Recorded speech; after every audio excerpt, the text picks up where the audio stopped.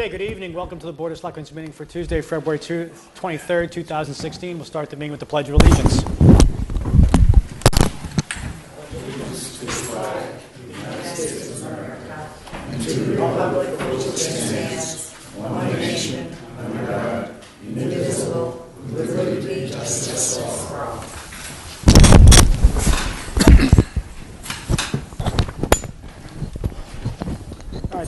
Public session portion of the meeting. The board started tonight in executive session where we discussed strategies with respect to collective bargaining updates by town manager relative to fire, and also discussed strategy with respect to deployment of public safety. We'll start the public session off as we always do with a public forum where residents are invited to share ideas, opinions, or ask questions regarding town government. Do we have anyone who'd like to come forward this evening? Please. Um, Pam first. Can I get, I, I'm sorry, sir, I didn't see you. Can you? Can't hear me? No. Pam Waxlax, 15 Smith Road. I'm talk, back to talk about the trash and the E.L. Harvey contract, and hoping that you will consider moving forward again with the idea of single-stream recycling. Based on both the EPA and Columbia University studies, um, single-stream recycling is, has the highest participation rate of any recycling out there, and given the amount of trash that we throw away, I really think that if we can move to a single-stream recycling, we will do better with this. Thank you. Sir? Uh, Rick Solfaro, 132 Fruit Street, Hopkinton. Um, I would like to present to you the voice of the community through many signatures of many distraught Hopkinton residents. The residents are questioning why this current situation regarding the fire chief has had to come this far. I have been a Hopkinton resident for 67 years and have known and respected all the fire chiefs, starting with Joe Pine, followed by Arthur Stewart, Rick McMillan, Gary Doherty, Kenny Clark, and I have known Steve Slaman most of his life. All of these men were raised in Hopkinton, ex- except for Gary Doherty. We have all seen firsthand their hard work and dedication to the fire department, to the town of Hopkinton, and have all come up through the ranks in the fire department. Mr. Palleiko, you communicated recently in the police department promotions that it was a privilege to see the officers in the department come up through the ranks. Why not the fire department? The citizen- citizens of this community are perplexed at the resistance of the selectmen not willing to listen to the opinion regarding the fire chief. This shows a lack of respect towards the residents in this town trying to provide the best choice for fire chief. Steve Slaman is clearly the best choice for fire chief. He has proven his dedication and qualifications to the community beyond a reasonable doubt. It is time to do the right thing, appoint Steve Slaman as full-time fire chief. I would now like to present to you 18 pages of signatures of distraught citizens of Hopkinton wanting this situation to be resolved and to appoint Steve Slaman as our fire chief. If I may. Sure. Thank you very much. Thank you.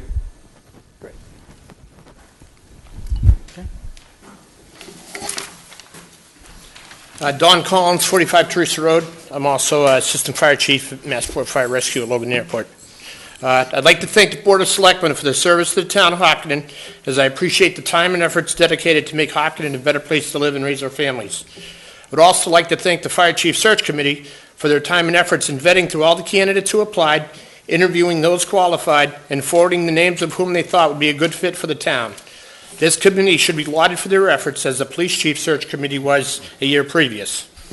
I have traveled all over the country in my 32 years as a firefighter, uh, training, learning, teaching, selling fire equipment, and unfortunately attending funerals. I belong to many fire organizations, both professionally and socially. I have sat on interview panels for promotions and was involved with auditing two textbooks. I've seen many different faces of the fire service, both superior and not so. I've been a teammate, hunting partner, classmate, EMT partner, and a line mate on, on many hose lines with Steve Slaman. I responded to numerous fires, accidents, and any a number of emergencies with favorable outcomes and some not. Steve Slaman, I can assure you, is as solid as they come. He was the initial incident commander, one of the darkest times in Hopkins' recent history, on the early morning hours of July 24, 2002, as two beautiful young sisters were killed in a house explosion. Steve knew immediately that they were too late, also realizing that the call had been that if the call had been directed to the fire department moments earlier, that he and his crew may have been killed. as they would have been walking in the front door as the building came down around them. All this going through his mind in mere seconds as he knew that the, he still had a search and rescue mission to organize, fires to put out, gas to shut off, and initiate calls for extra resources, all before he passed command to the chief upon his arrival. Steve Slaman is an extremely educated self-motivator who has worked hard to be certified as an executive chief fire officer, a title not carried by many. He's humble in the fact of always looking to better himself and his crew, however, experienced enough to be able to make a quick life or death decision with total confidence. Steve is a town resident who has made his way up to the ranks with hard work and sacrifice. Steve has also risen through the ranks at basically the same rate as chiefs in most of the surrounding towns to Hopkinton and has established great relationships with all of them through the years, and he has the respect of all of them. Steve Slaman has worked hard to get where he is today. He is solid, he is humble, and he is the best choice for the job of Hopkinton Fire Chief. Let's stop this charade and give Steve the respect that he deserves. Thanks for your time. Anybody else for public forum?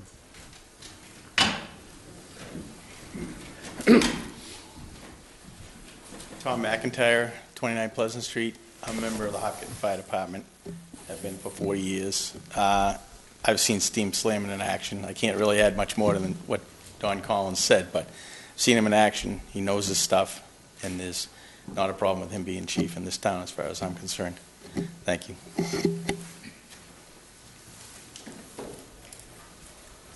Anybody else for public forum? All right, thank you all. Next item on the agenda is the consent agenda. It's action items. First one is minutes. The board will consider accepting the following public session minutes of February 2nd, 2016. The second is a bond authorization note, an action item pursuant to various articles of the 2015 uh, X annual town meetings. The board will consider approving a bond authorization note in the amount of $9 million of various capital projects approved respective town meetings. Third is a marathon fund request. The board will consider approving a marathon fund request for $1,750 for the purpose of transferring 16 Hopkinton High School football films from 1930 through 1982 from 8 millimeter or 60 millimeter films to QuickTime files. These will be shown at various times as part of Hop TV's From the Vault programming. And the fourth is board appointments. An action item, the board will consider appointing candidates to the Upper Trails, Trails Committee and the Marathon Committee. The Metro West 495 partnership is listed, but that is actually not an appointment from the Board of Selectmen. Uh, Would anyone like to break out any of the items on the consent agenda?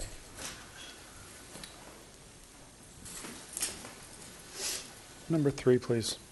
Number three, which is the Marathon Fund request. I guess we should probably break up board appointments, too. Um, Do we have the appointees here?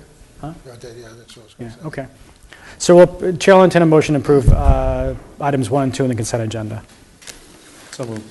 Second. Motion second for discussion. All in favor, say aye. Aye. Opposed, present not voting, that's unanimous.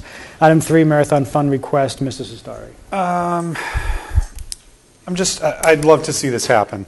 Um, I'm just trying to remember exactly what the, uh, I guess, charter of the Marathon Fund monies is supposed to be directed at, and whether this is something that's better for um, uh, um, losing track of which other fund, but um, CPA? CPA, CPC. thank you very much. See? Oh, okay. Yeah, CPC, CPA. Um, So I'm just uh, wondering exactly what the, what the charge is and make sure that it fits under that.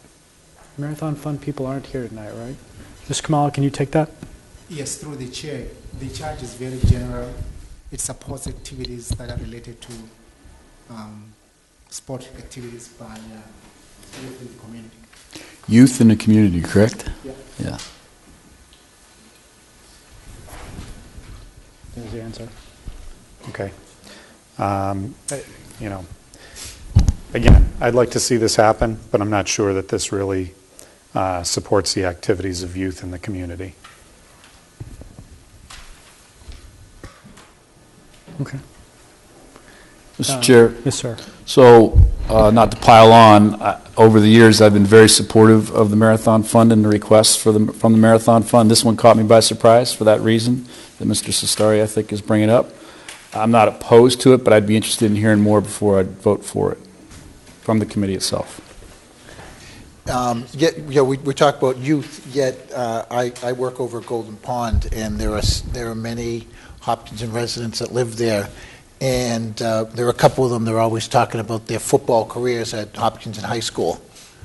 Um, You know, uh, and, um, you know, this might be one of those things that they would just love to see. So, it- you know, I I still, because they live, it- they they relive their, their youth uh, a lot. and- Well, I don't think anyone's questioning the merits, Mr. Canino. I think the question is the funding source. Where should the money come from? Yeah. I'd vote for it either way, but I want to understand Right. why it's coming from this fund and not CPC. All right, why don't we take no action on this tonight, Ms. Khumalo? Can we, can we think about this more deeply and maybe have the Marathon Fund folks come I think in? it could start a trend that we got to be careful. Yeah, okay. Can we just, can we rethink this?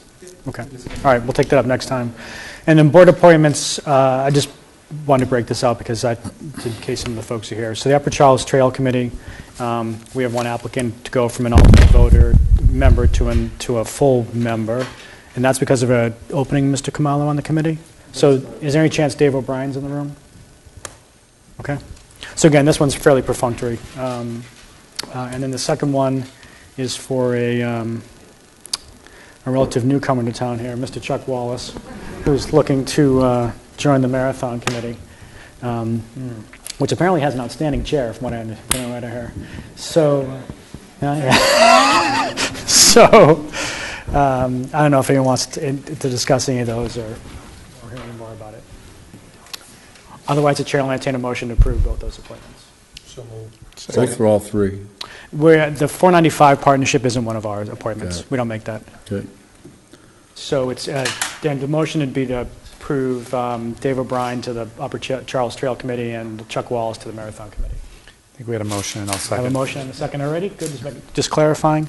Just clarifying for you what it Yeah, I'm was. okay. All right, motion second, further discussion, everyone's all set, all in favor, say aye. Aye. Aye, opposed, present not voting, that's unanimous. Welcome, Chuck, to the Marathon Committee. Thanks very much. I thought he was already on it, so. All right. All right, now off to the highlight of this evening's uh, events, 300th Anniversary Celebration Committee sealing of the time capsule. Gene Bertschmann, the chair of the now legendary 300th Anniversary Celebration Committee, will close and put a final seal on one of the boxes for the time capsule and will affix a plaque to the bench. Right. Ms. Bertschmann. Thank you. Like a bad penny, we keep turning up. Um, So I'm joined by Mike Whalen and John Foster, who I know are familiar to you, who, um, John is the artisan who crafted this incredible bench, and Mike is uh, the brave soul who dug the old time capsules out of the 2,000 pound um, granite stone at the Korean church. So today, I asked him if he would seal the new time capsules, and he didn't even have to remove his tie. So I think this was an easier, easier task today. But I wanted to give him the honor of doing that since he did the heavy lifting for us the last time. So the time capsules, there are three. There are two to be opened in 2065, so 50 years, and one to be opened in 100 years in 2115 the big one um, for 2000, and I sent you all a list of the contents. Um, the big one has all manner of documentation from the year, and then there's another one that has letters, primarily from kids in town to themselves, 50 years in the future. So, um, I, John, I- you're getting right to it. You can't be. You're Getting- he- Yeah, he's not fooling around. Um, I I also want to thank Chris Alejandro, who was on our committee, and he uh, helped Yeah, us. Chris did a fantastic job on these boxes. They're really heavy duty. Uh, This is the big one. Can we show it to the crowd? Is there any chance we can lift it out, or is it already kind of in? There is no chance. It's in, never mind. Yeah, Disregard. we can't, this is the one, flo- Another we can't get our fingers right, around it to pull it back out, so that's a problem for somebody 50 years in the future. Um, But I will say, John, Puzzle. so John is sealing it now with tamper-proof screws with a special bit on his drill, and if the people in the future do not have that, he has cleverly concealed one right there in the um, bottom of the bench for them. So uh, he's made it as easy as he possibly can for them to retrieve it. Um, there's a, uh, an international society for time capsules, believe it or not, that registers time capsules. So I will register all three of these. Um, they estimate that 9,000 of the 10,000 time capsules in existence have been lost. So we're doing everything we can to hide this in plain view in the library and register it and put as many pointers as we can to it and, you know, control whatever variables we can to make sure that people at the next celebration will find it and enjoy revealing it the way that we did when we, uh, when we dug the old ones out of the Korean church. So thank you for your little participation. This has been a really fun project. Mr. Chair, so is the bench going to reside in the library? Yeah, it's going to sit here for the next year until the new building's done, and then it'll be moved over to some s- secure location in the library, you know, inside the main doors. Along with that, that quilt thing is going to go over there too. Really nice. Yeah, actually. Where did that come from? Gene. Can we talk about that? Yeah, talk, uh, talk about the new prop here. The, um, so that will also go in the library. John, your drill bit's still in there. He's got it. Um, that will go, that was a fundraiser for the library renovation project. It was worked on by a lot of, um, of quilters in town, and Susan Marshall really did a tremendous amount to solicit donations and sell the book spines. There are some notable authors on there. Um, Laura Hillenbrand, the author of Unbroken, signed a spine. Geraldine Brooks, so a lot of really internationally known authors signed it, as well as a lot of people in town donating money. The middle shelf uh, represents all of the founding fathers that donated the original money to get the library built in the Yeah, first it's very place. symbolic. So it's um, cool. it's sort of to honor them. So yeah, so hopefully these two things will stay together in the library and be enjoyed um, by everybody. It's very nice. Excellent. So I think John and Mike can tip the bench back up for you and, and place it here. I I will come back tomorrow and put the rest of these screws in. Yeah, I was wondering Okay. about So if anyone wants to break in, they should break in tonight. So it is a little bit heavier now. And you'll see when they turn it over, you'll see there's also a plaque in the front that really says, like, Yeah. right here, this is where they are. So hopefully people will find them Other than a giant and billboard. open them up. Excellent. Yeah. So we'll just put it in front here for the Yeah. time being. Well, you guys should get a picture with it one last time. All right. All right. Very nice. Great job, thank you.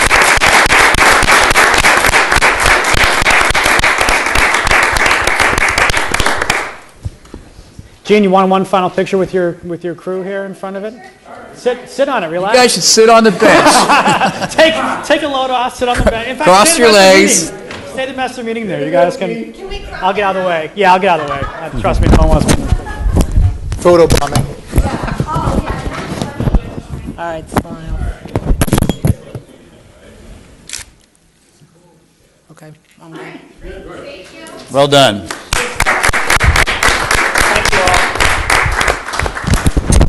Nice bench. And I do want to make one final comment on Mike, the Alpha and the Omega here, who got the other one, uh, got the old ones out. Gene, all the old ones went back in there too, right? You didn't mention that part, but no, the old ones didn't go back in there. Never mind, disregard. Okay, so fine. Old ones are saved for posterity. Stay in the, I'm going to put them back behind the cornerstone. And an undisclosed. Yeah. Hey, Mike, you got to tip the stone lost. over and put the old one back now. Norman's office. You had fun doing that one. You had fun. I did have fun. Uh, all right. Moving right along, the BA Boston Marathon Parade Permit's an action item. I want to start by saying this is not the big event tonight when they all come in and everything. We're- This is just a perfunctory, get the parade permit done, so you all can save your, your commentary. Yes, exactly. So the board will consider the following parade permits for the Boston 2006, look, we're going to have, look at you when I say that. 2016 Boston Marathon. Proponents of the BAA, it's a training run, starts at Main Street, Hopkinton, ends at, in Boston, Mass. Date and time, March 26, 2016, 6 a.m. to 11 a.m. Street closings are in an attachment, and there's uh, applications and permitting team comments, um, none of which I think are, are, um, are, are anything at all, actually. And then the second one is uh, another run by the, proposed by the BAA. It starts on Main Street, ends in Boston, Mass. Date and time, April 18th, 2016. That might be a little larger crowd for it. And, um, and again, they seek the permit here, but they'll come in at a later date to have the full-blown discussion about all the activities that go around it. Unless, Dottie, you, do you have anything you want to say tonight, or are you good? Save it for later? Okay, good. Right on. Well, you got a hard-working new volunteer, I understand, so you should be able to lo- dump the load on somebody there. Um, Okay. Anybody in the chair have any comments, questions, sir? Quick question, did we change the size of the field this year, is it still 36, I believe? No, 30,000. Coming 30,000. back to 30 this year. Okay, thank you. Any questions? Oh, yeah, I'm sorry. Co- I I didn't see that. No, it's Come on, okay. if I you can wanna- go over the, uh, the timeline and just kind of go over to review it. That Sure. uh, certainly welcome the opportunity easy to sell, say a so I would couple just- words. yeah. Oh, great. It's an easy. But uh, let me just go over the timeline real quick, if we may. Um, For the actual marathon itself, at 6 a.m., we plan on having the uh, military marchers. Uh, That'll be no more than 100 National Guard soldiers that'll march down the course. No rucksacks allowed. It'll just be with maybe a water bottle in their possession, and they'll be in their uniforms. Um, At uh, 8:50, we'll have the mobility impaired. Push rims at 9:17 for the men's division. At 9:19, the uh, women's division. Hand cycles will go at 9:22. The elite women at 9:32, and then 10 a.m. is the wave one and the elite men, and then 25 minutes later, for four waves, will be waves two, three, and four. So wave four will go off at 11:15. We expect the last runner across the starting line around 11:28 in the morning, uh, and then uh, cross over the Hopkinton Ashland Town line at around 11:55 a.m. And we expect to have the roads reopened around 1:30 at the latest. So that's a general synopsis. Again, 30.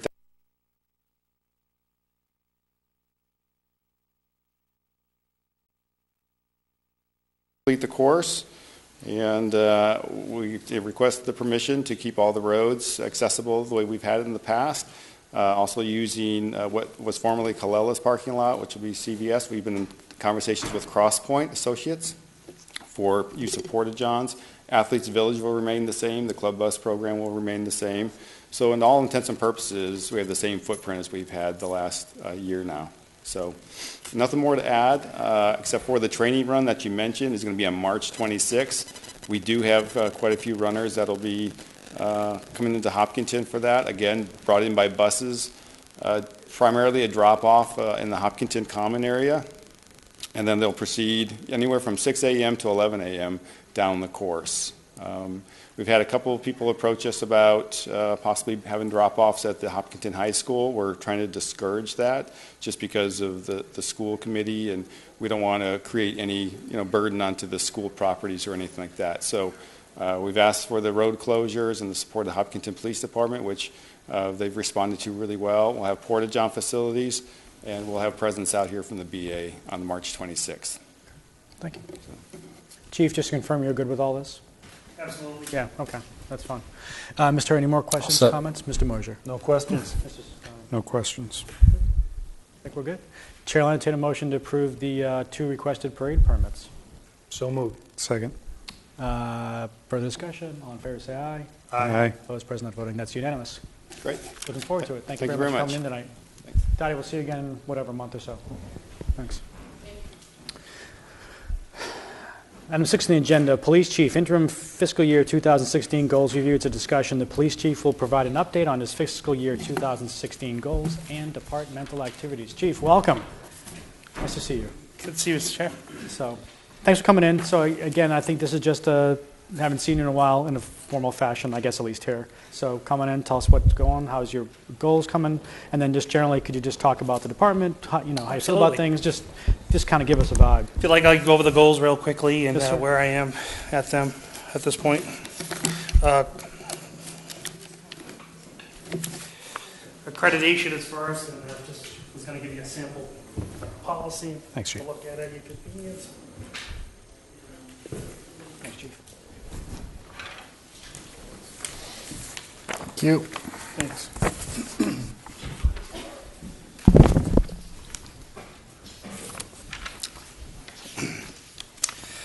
Uh, The first goal was to continue the accreditation process and move into the uh, second phase. I'm pleased to announce that we have certainly uh, done that. Uh, The big thing that uh, the board was requiring was to get, implement uh, the top 12 high-risk policies, the so-called uh, dirty dozen. Uh, The committee has been able to uh, to, uh, To work and mo- get some model policies with the federal standards uh, for use of force, domestic violence, response to calls, authorized weapons, handling of juveniles, uniformed appearance rules and regulations, uh, property and evidence, handling mentally ill, pursuit, cruiser video, internal affairs. The one you have there is the uh, sexual harassment policy, uh, citizens' complaints, police media. Uh, One of the uh, things that I put down was to seek input and feedback from uh, MassCOP members, and that's all, I also included members from uh, dispatch. Uh, We're in the process of every week Yeah, looking at each policy and uh, deciding uh, if there needs any adjustments or uh, anything we can build upon and, and move forward. So that's uh, smooth sailing at this point. Uh, Second goal, So Chief, just to summarize the, so the policies you just make, you moving along, you basically get these drafts in place and you just sort of Absolutely, we'll have them in so- by uh, July, and hopefully to have more than Okay. just the, uh, the 13th. As the process, now that we have a, a certain patent that we're doing, we're we're creating the policies, reviewing them, and then uh, we're in the process of implementing and training. And that's and you told are. us before, but can you remind me, how many are there total? Uh, There's there are about 270 different standards, so and sometimes uh, you We're can mere have different. so- 23 years away from being done with this? Okay. get it done quick. These are, there, there's a lot that, that are, that are very simple and easy to maintain that we probably already have, and we're just going to review and update. Got it, okay. Yes, sir. If I may, um, through the chair, Chief, Yeah. with regard to any policies that relate to the dispatch or combined communication center, could you please make sure you uh, collaborate with the fire chief as well as town hall? Absolutely. Thank you. Uh, The SEPT CPTED officer, crime prevention through environmental design, uh, created a position on the police department. Uh, We chose uh, Arthur Schofield, a uh, young, very energetic officer who has also joined the crime prevention team with Officer Buckley, done an outstanding job. As we speak now, uh, he's in a week-long uh, CPTED school, the basic CPTED, it's a 40-hour school, introduction to CPTED, strategies, concepts, human behavior, barriers, lighting, planning, it's it's a whole, the the whole gamut of uh, the basic of CPTED. And uh, once he comes out of that, he'll be a certified CPTED officer. Uh, From there, uh, we will work with the town manager in planning to have CPTED officer part of the planning team. So that's the next step when he, when he completes the, uh, the training. And the, uh, of course, the other element would be uh, getting him involved in doing, uh, we do security audits now. Right now, it's basically people go on vacation. We offer uh, uh, house checks, spot checks, and we do quite a, quite a a few, uh, especially during the summertime. But this uh, CPTED officer will be involved in an actual, uh, um, a security audit people have questions and problems or things, or something we might be able to touch upon and uh, let them know where they can pr- improve on their security. So that's moving ahead, and that certainly should be done by July. Uh, Create a communication plan for the department, uh, enhance current communication with the governing board and partners in the community. I think uh, the chair and I have uh, certainly worked, on- along with the rest of the board, on the best way of communicating with the board via text, uh, emails, and of course, phone calls if uh, are needed. And I think uh, that's been pretty smooth as of late. I know there's been problems in the past with that, but I think we're, we're moving ahead on that. Uh, Creative uh, essence of transparency by providing the public with performance measures and other uh, pertinent information. Right now, in the process of working with Worcester State and their interns to have them develop a, uh, a better website that's kind of two-way, providing forms for the public, as well as uh, us releasing uh, performance measures and letting people know exactly what we do, how we do it, and uh, quantifying what we do uh, build on a relationship with the uh, local media. We certainly use the local media to get the message out. And uh, our public information officer, Joe Bennett, Lieutenant Bennett, certainly has a great working relationship. He just went to some recent training on dealing with the media and uh, garnering a, a good relationship with them. Um, Just a few of the community outreach things that we have uh, done in this area just uh, since July is uh, social media. We certainly build upon that, and that begins to flourish. Our uh, public service service announcement, which was done uh, by Officer John Corridon to reach out to people uh, with letting them know about the Good Samaritan law, which revolves uh, opiates, to to certainly uh, don't hesitate and call. Uh, You you know, you won't be arrested if you do report that someone is having an overdose. Uh, As a matter of fact, we had an Narcan save uh, the other night uh, because someone made that phone call. Um, We've had uh, Facebook likes are up 15%, Twitter is up 13%. Uh, Detectives are engaged with merchants, uh, doing uh, secrets. banks and s- alcohol vendor compliance checks. Our home, uh, I already mentioned home inspe- inspections. Um, Officer Buckley and Schofield have lectured on fraud and scams at the senior center. Uh, We have created a safe exchange zone at the police department, and people are using it. It's like UPS out there for uh, trading packages, but it- it's certainly a good, good idea, and I certainly got a lot of feedback from the public that people can go in a safe place if they order something on the internet. They're not sure who they're dealing with. They meet in the police parking lot, or obviously we're open 24/7, or the lobby if they choose, if they feel safer and uh, able to make their transaction. National Night Out continues to grow. Uh, Our involvement with uh, uh, Hopkinton uh, Prevention Coalition has certainly moved forward. We've taken part in the, uh, uh, showing the movie uh, Anonymous uh, People, um, had a community meeting, Family Perspective on Addiction Recovery. We now have a a needle drop box in the uh, station, uh, a kiosk, and we'll be attending a lecture by Chris Herren, a former NBA basketball star who, as he came to uh, addiction, was able to con- be- become clean. Uh, We have the drug tag, uh, uh, drug take-back day. Officer Buckley uh, performed at the senior center. Um, We continue to install car seats, and uh, we were able to obtain a grant for $2,000 worth of uh, car seats. Uh, We have hosted the rape aggression training class. Uh, That actually wrapped up last night. We had 24 participants, 20 more, uh, 24 female participants uh, over a uh, six, six-class period. And it was very successful, a lot of good feedback on that. We started a partnership, the Hopkinton Autism and Special Needs Parent Connection. We continue to look forward hosting another entertainment and educational day. We had a National uh, Autism Day at the police department with tours of the police station. And we were also training one dispatcher and one officer to uh, the outreach program protecting missing children with special needs. Uh, We continue to work with the jail diversion program.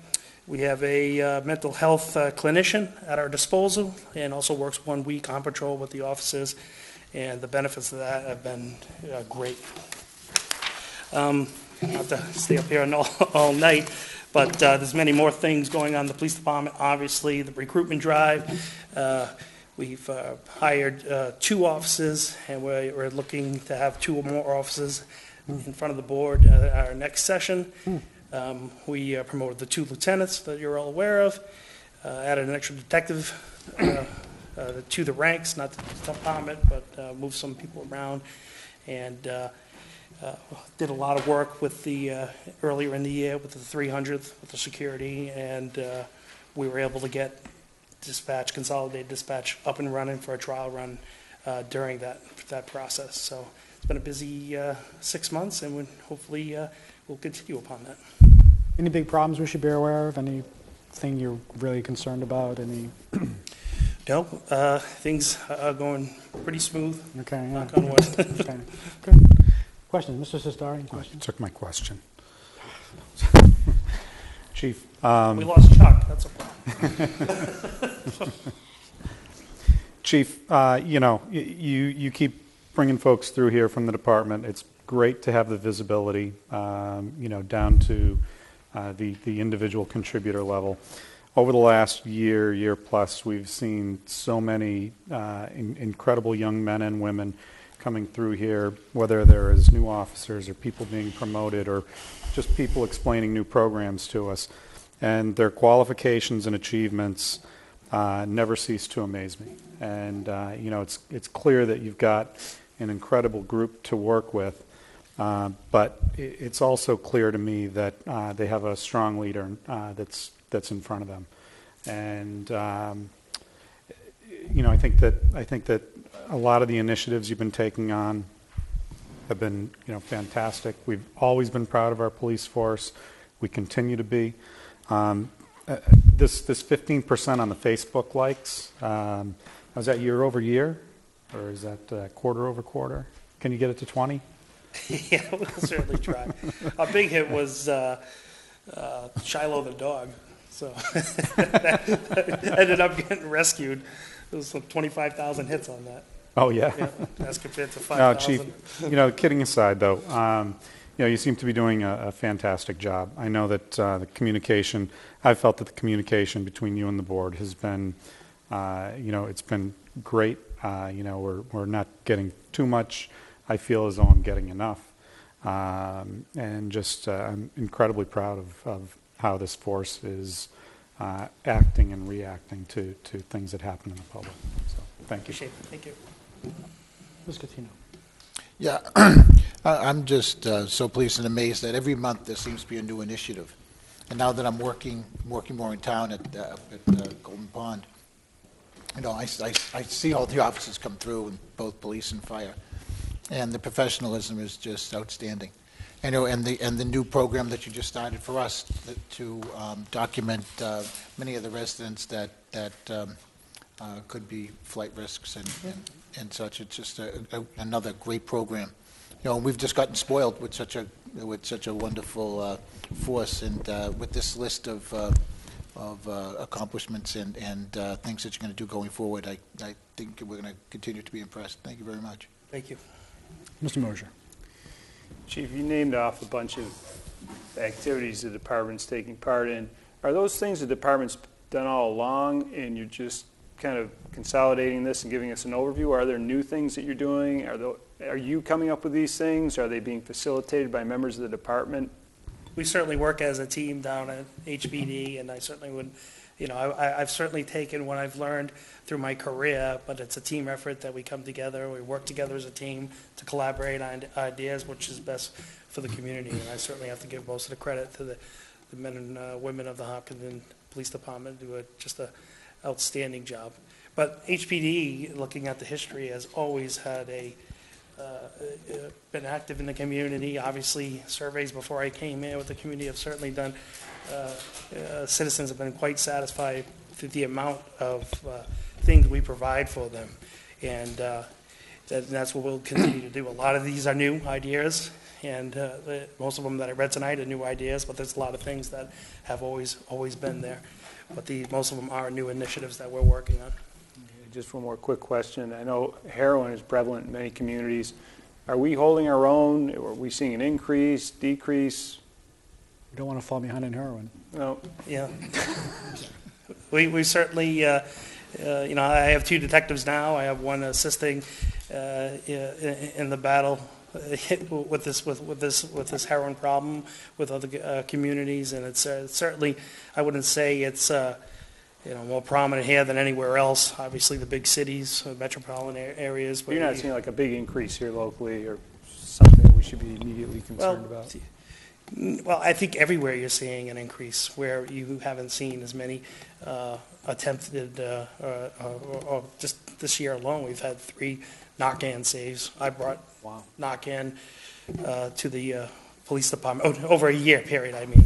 Nonetheless. Yeah. And uh, where we've obviously never had that before, because we never had uh, the, uh, the Narcan as far as on the police side. And um, so, yeah, I think you- you're seeing a, a- a little bit of a- an increase, but you're seeing it everywhere. Thank you. Mr. Herr. I think the communications are going great. I appreciate that very much. Um, and I'm not asking it for any other reason, but I'm curious how, how would you define and describe the morale in the, in the department today? Well, I think I have a pretty good pulse of what's going on down there, and I, it seems positive. I'm greeted every day with smiles in the morning, and I don't see when uh, people are leaving at their end of the shift, it's not like they're running out the door. When, when you see that, people headed to the parking lot like it's a, uh, the start of the Boston Marathon, it's usually a bad reflection on your leadership style. so I think it's been good. I've gotten certainly a lot of uh, good feedback uh, from uh, many officers on the uh, police department and as well as the, uh, the dispatches. And I think, uh, you know, without tooting my own horn, I think, I think morale is is at a pretty high spot. That- Those Facebook likes are from people in the park. They get time off quick. That's my sense as well, that I think that the, the, the morale's pretty good. Uh, and it's an important piece of the puzzle that you want to watch and, and certainly nurture. But I think, uh, all in all, I think it's going very well. Thank, you. Chief, thank you very much for coming in tonight. I appreciate it. Thank you.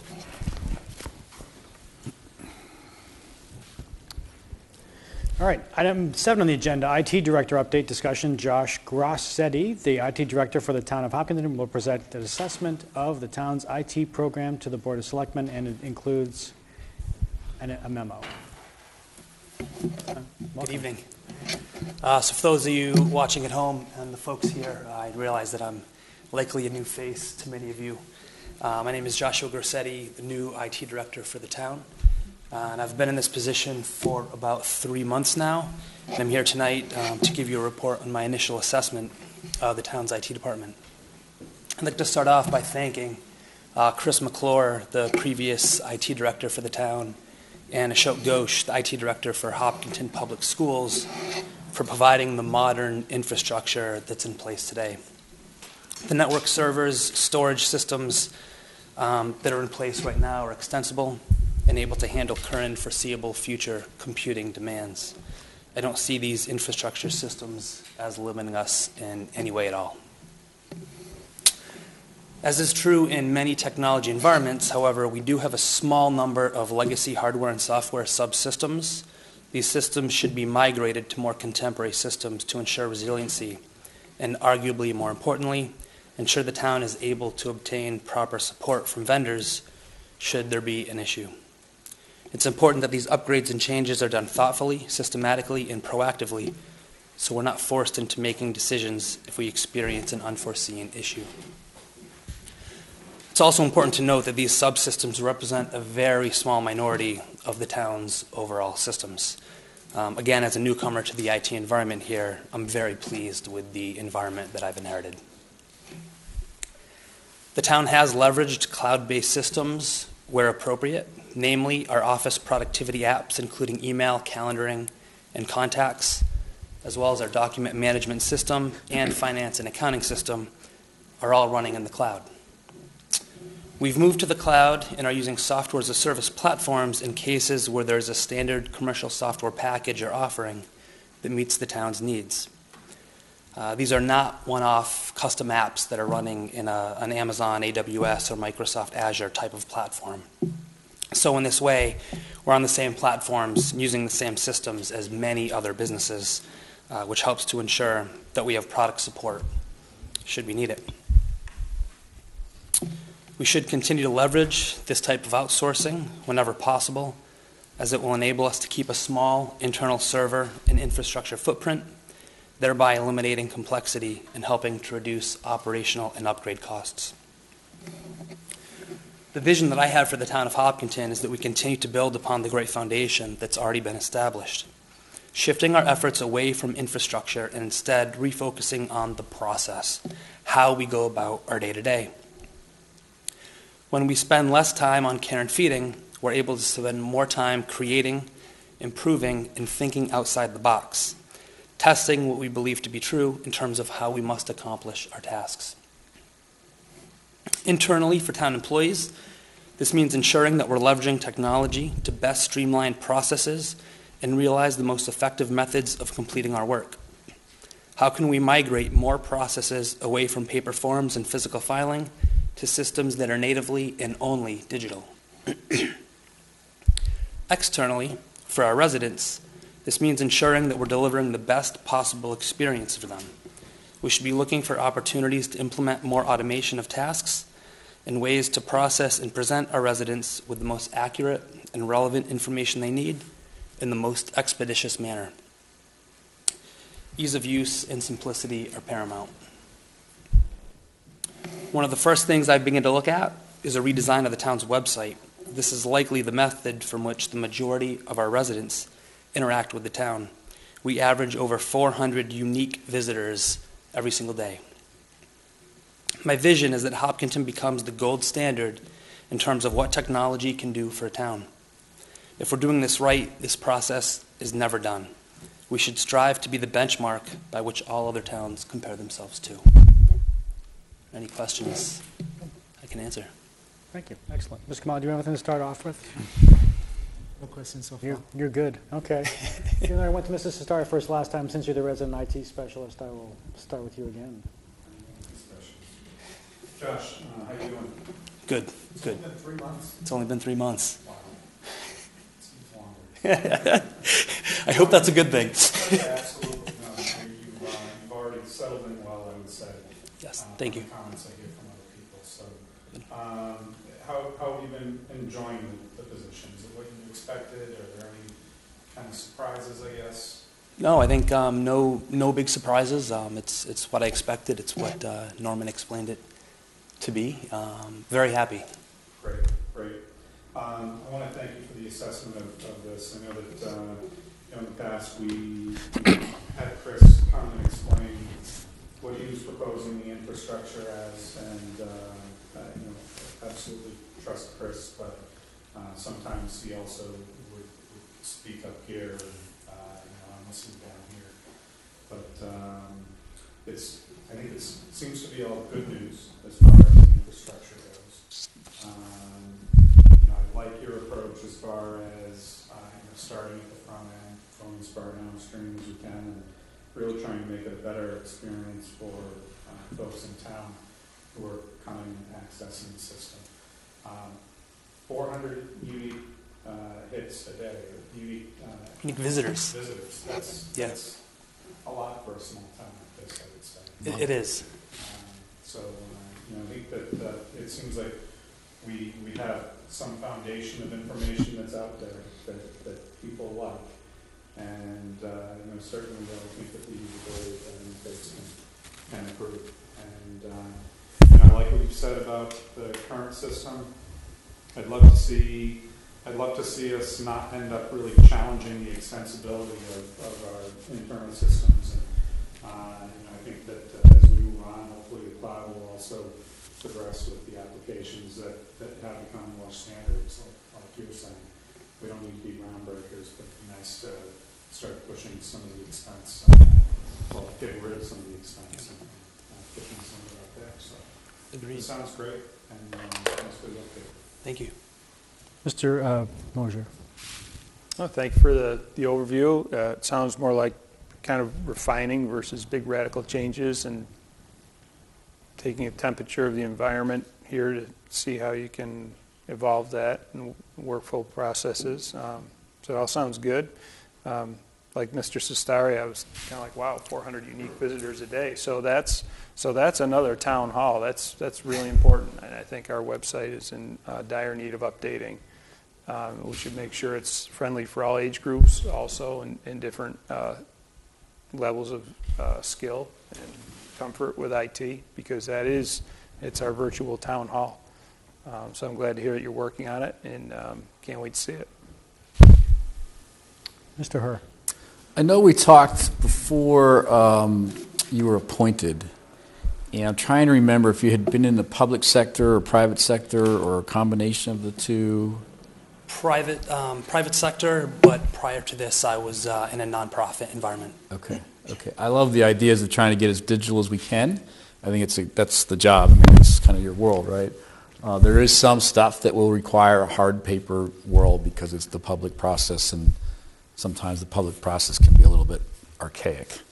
Um, but I think you're off to a great start, and I appreciate uh, all your energy and effort. Thank, Thank you. Mr. Catino. Yeah, I, I really know the town website needs to get fixed because I noticed today that I wasn't listed. That was the only select. I was been only since resolved. No, no, that's not true. But, but who's checking that? You know, say this profile picture wasn't exactly the Yeah, my picture was there, but I One person in town checking that. you fixed it? I He's took there you because off. I saw you today. I Okay. saw you. No, no, I you'll was- see. I was staring at you. Moses cut in half and I'm not there. Oh, man, you're on it. You're back up. I'm back up? Okay. What is this? Thank you. I don't know where you got the mustache from, but you're back up. Yeah, it's drawn on. Now, on a serious note, um, yeah, if, if at some point you can give us an update on the uh, collaboration that we, that town meeting last year, we spent, spent uh, several hundred thousand dollars on um, security and cameras and, uh, and. That's the schools. But, well, it was schools and, and then uh, uh, stuff also had to go down to the uh, police station. We also did some expansion there. I just wanted to make sure that everything was coordinated. Because we did it um, without it, without it anybody know, on the town side of, with, with IT. We used the, the school's IT person, but, um, you know, we just didn't have anybody on the top. The um, superintendent of schools said she was going to overlook it, but it's something I, I thought that we really needed to have a, a true IT person. And if at some point you could just take a look at it and, and come back to us and see if the money is, um, was spent or is being spent uh, effectively. Sure. Thanks, that's it. I'm good. Did you have a follow-up? Yeah, I do, actually, um, uh, kind of along those lines, but wondering, have you noticed, uh, first of all, how well, how well do the school systems and town systems uh, interface? Do they interface at all? Uh, um, we we shared we share platforms more so than uh, I would say systems interface. So um, the the town and the schools have done a, a really good job of leveraging economies of scale when it comes to our virtualization environment, our storage environment, and our, our core network and switching environment. Um, having consolidated all of that under under one roof. Um, so from that angle, I think it's um, as efficient as, as we could be. Um, in terms of operational systems, uh, where there is overlap, I mean, we do collaborate, but I think by, by the nature of, of the t- running a town and uh, running a school system, there's a, a lot of systems that are going to differ. Um, so in those instances, we're, we're not able to. Okay, thanks. Ms. Khumalo, yes. If I may, on, on, on that topic, I think a couple of points. Um, one, owing to the transition on the town side, I, I think the pace of the uh, um, our efforts towards working with the schools on joint projects is, is somewhat slowed down. Um, secondly, I'm also realizing that uh, perhaps we've gone as far as this joint relationship could take us. So going forward, um, perhaps most of the collaboration is going to be purely opportunistic.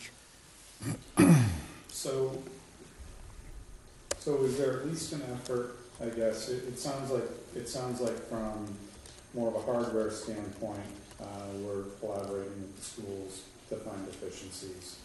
Um, I'm wondering, in the rest of the technology stack, more on the software side, are we trying to, you know, somewhat come together and standardize, uh, how, how we move forward?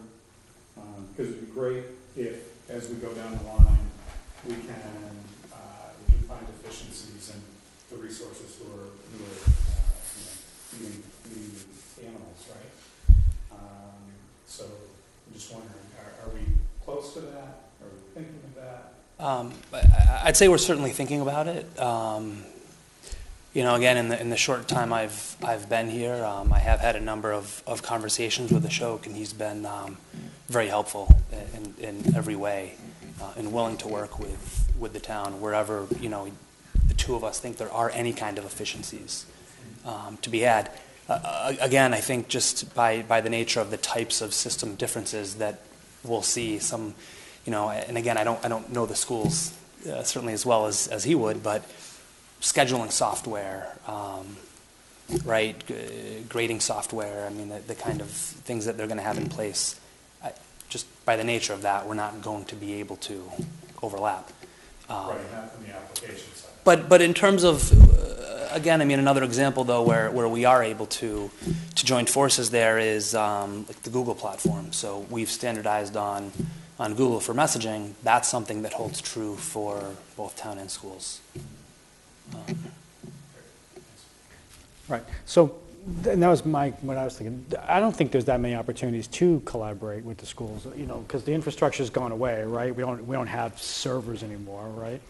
And they don't, they use um, the payroll app, the payroll program, they tie to that. They're already tied into all that downstairs, right? So, um, not, there's not a lot of. Yeah, I mean, I think the, we'll see, you know, there'll, there'll always be some amount of infrastructure that, that will need to exist on, on premise.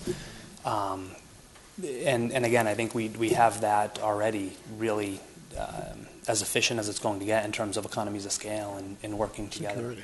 Um, but yes, to your point, I think in the future, we'll, we'll, you know, my hope is that we continue to move more and more to the cloud and rely less and less on that on-premise uh, processing or, or resources. Okay.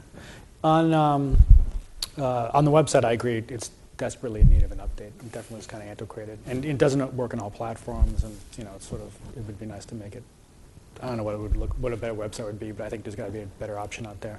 Other than that, are there any other major issues, concerns, things that we need to be aware of or Um, looking forward to? No, nothing major to be aware of. I think, um, you, you know, again, the, the good news is there's no big red flags here or anything that, that I'm seeing um, and saying, oh my goodness, um, right, we, you know, we, we need to address this yesterday. Um, you know, I'm, I, I see lots of opportunities for, for small uh, efficiency improvements and where we may be able to be more effective in how we get something done. Um, but again, this is efficiency and effectiveness based um, kind of process improvements, not uh, burning systems Got it. uh, which I think is, is, is good. Good, thank you. Anybody else else? All right. We're good. Thank you for coming in, Josh. Certainly. Thank you. Thank you. Item eight on the agenda, street name acceptance action item. The board will consider approving a street name for three lots on a paper street, which is off Leonard Street. The proposed names are, one, Box Mill Road, two, I think it's Mehern Road, three, Leonard Lane, four, Leonard Circle, and five, Easy Street. Um, There's requests and some permitting comments. The permitting comments primarily consist of the fact that uh, the recommendations by the public safety uh, are against anything involving the word Leonard, um, to just to eliminate any kind of confusion. And I'll also remind the board that previously we declined to name a road Easy Street a few years back. We did. Um, We didn't like it, yeah. You're right. So with that, um, uh, you are here to... I'm the owner. My name's Richard Barbieri. I'm the owner of the property. Okay. I could explain the, uh, the engineer found there used to be an old box mill on that property years ago and was owned by the Mahern family. That's where those two names came from. Yeah. So I don't know if you have any questions for me. It's a little three-lot paper road that I'm improving. Right, okay. Any, uh, who wants to start this off? Mr. Mosier, any, any Uh, questions, or you no just want to... questions. I'm ready to make a motion. Go for it. I think, I think people will listen. Uh, I'll make a motion for Box Mill Road. Second. We have a motion and a second for Box Mill Road. Does anybody else, any competing candidates? Okay, all in favor of Box Mill Road, say aye. Aye. Opposed, present not Thank voting. you. Welcome to Box Mill Road. Thanks, Norman. Thank you. Thank you, you're welcome, thank you. Item nine, the agenda, liquor licenses, 2016 changes and hours of operation policy discussion action item. The board will review hours of operation policy for restaurants and related establishments, and then consider approving nine licensee requests for a change in hours or other aspects of their licenses. This, the board has discussed this a couple times previously. Um, We drafted a policy, we reviewed the policy. The goal for tonight, I think, was for the board to go through the policy one last time. Mr. Khumalo, you can talk about the changes we've made or where, where it stands. Board can ask any final questions. The goal here is to um, make the next move to be to a public hearing, uh, which is required, we're required to post this for anyone who's going to have their hours changed. Um, And then we do that in one of these meetings, and as, and we do the public hearing, and then we would vote to implement the policy. Mr. Khumalo, yeah, anything to say? In, through the chair, in summary, the changes that have been added to the policy uh, subsequent to the board's last meeting include the following. Uh, We have provided more clarity and uh, specified the requirements for the farmers series pouring licenses. We have also identified the requirements uh, that apply to the special temporary licenses. Remember, this is a concept that uh, we have had in the books for a while, but the town has never specifically uh, laid out the requirements for such licenses. Uh, in addition, we laid out the requirements for the farmers market license, uh, and these are different from the farmers series pouring licenses. Uh, the farmers market licenses pertain strictly to the farmers market as we have in the common. Uh, the farmers series pouring licenses are tied to um, local brews that are tied to, in fact, that are related to local farming operations. And then finally, uh, a couple of the things that we, we, we laid out in terms of the hours. Remember, the, I had received specific comments from some of the existing establishments with regard to uh, special events. Um, I did provide some uh, suggested hours for New Year's Eve. Um, I laid out 12:30 a.m. as a likely uh, end point uh, for, for that particular night. And then finally, fees. Uh, In reviewing this uh, policy, uh, we did identify a couple of issues that the board will need to address perhaps as we move forward. Uh, One being the idea of identifying a base fee for all the applications. And then number two, revising our fee schedule to line up with the new categories and also the new terminology that we're using in the policies um, so that at least when people come to the office, they can quickly identify what the application fee is for that particular license that they may be interested in. So in summary, we've clarified the requirements for the new license types that the board has been discussing, um, including the farmers series, the farmers market, uh, as well as the special temporary licenses. We have also identified new hours for New Year's Eve. I did not touch Sunday night football, Monday night football, Thursday night football. Um, and we have also laid out the general operating requirements for all licenses. Okay, thank you, Mr. Palmer. I also want to point out the board today got a letter from the 110 Grill, which is sort of a um, uh, detailed discussion. In essence, what they ask is that we not do what we're doing. Um, They recommend that we continue licensing on a case-by-case basis um, and address the hours individually. So that just came in today. Uh, Mr. Herr, questions to start this off? As long as we're moving towards a process where the establishment owners have an opportunity to come in and address the policies that we're considering, I'm very comfortable. I think it's imperative that we notify every establishment in town when that public hearing is going to be held, and we post that public hearing wide and far in town for any community members that want to come and weigh in on it, uh, so that we don't get any um, sort of Monday morning quarterbacking going on uh, post a decision that will be made at some point soon. But I think as long as we're moving towards that public process and the public is aware and notified and they participate, we'll make a good decision and we'll be able to move forward. All good points. Mr. Mosier? Uh, So, so up until today, I've heard surprisingly little from um, people that may be affected by this, but I did get a phone call, and I think there's a misconception about why the board set out to do this. And my recollection is that we had some annual approvals, the times were all over the place, and there was some new establishments coming into town, and we kind of looked at it and said, um, you know, is there, is there an advantage or a disadvantage to some of these businesses based on, on having individual times? And then there was also uh, some input from the police chief, uh, knowing when closing times were, making it a little easier for officers to enforce uh, some of the rules around, um, around these licenses. Uh, so that was my perception. It wasn't that we were looking to shut things down and, and um, bring the hammer down on, on uh, businesses, but it was more of a, of a consistency, cleanup to make things a little bit easier. Um, to Mr. Herr's point, there there is a process around this, and we want to do uh, the appropriate thing for the town, for the residents and the businesses. Um, so that's, I guess that's just my piece. Um, what the original intent was around taking a comprehensive look at this was to clean things up from fairness, consistency, and convenience. What it was, Mr. Cestari? Silly John. um, no, I like this. Uh, I think that, to Mr. Herr's point, we need to make sure that word gets out uh, with ample time so that people's businesses aren't affected, um, you know, as long as they have an opportunity to come in front of us and talk to us about, you know, any variance in the hours that they're requesting and they feel they require. Um, my, my one question is, I know in, during the last discussion, the question came up on the fee for a transfer of license and uh, possibly having that be based on the percentage of the uh, sale price of the license. And I'm wondering if we have an answer to that. Yes. Um, the law in Massachusetts is very clear in terms of establishing fees. Um, fees are based on the time that the town spends reviewing the fee and nothing else.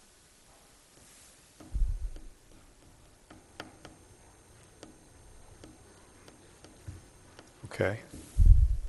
So that would be a no, because if Can the take a license long is being time sold to for review 50 that grand, sale you're still on contract. charging if it's being sold for five grand. Hmm?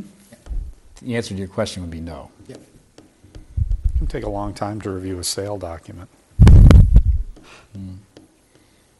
Okay. Ms. Catino. And me, when it came to the hours, I was just, was the only dissenter. Um, Because I, as much as it might be okay with some of you that, um, you know, the businesses can come fight for, uh, later on, they can come and fight for what they have now to try and get, if they have a 1 o'clock now, and we're telling them that five nights a week, they have to close at 11:30. Adding it up, that's seven and a half hours of, of business that they're going to be closed. And for some small businesses, that could be a lot.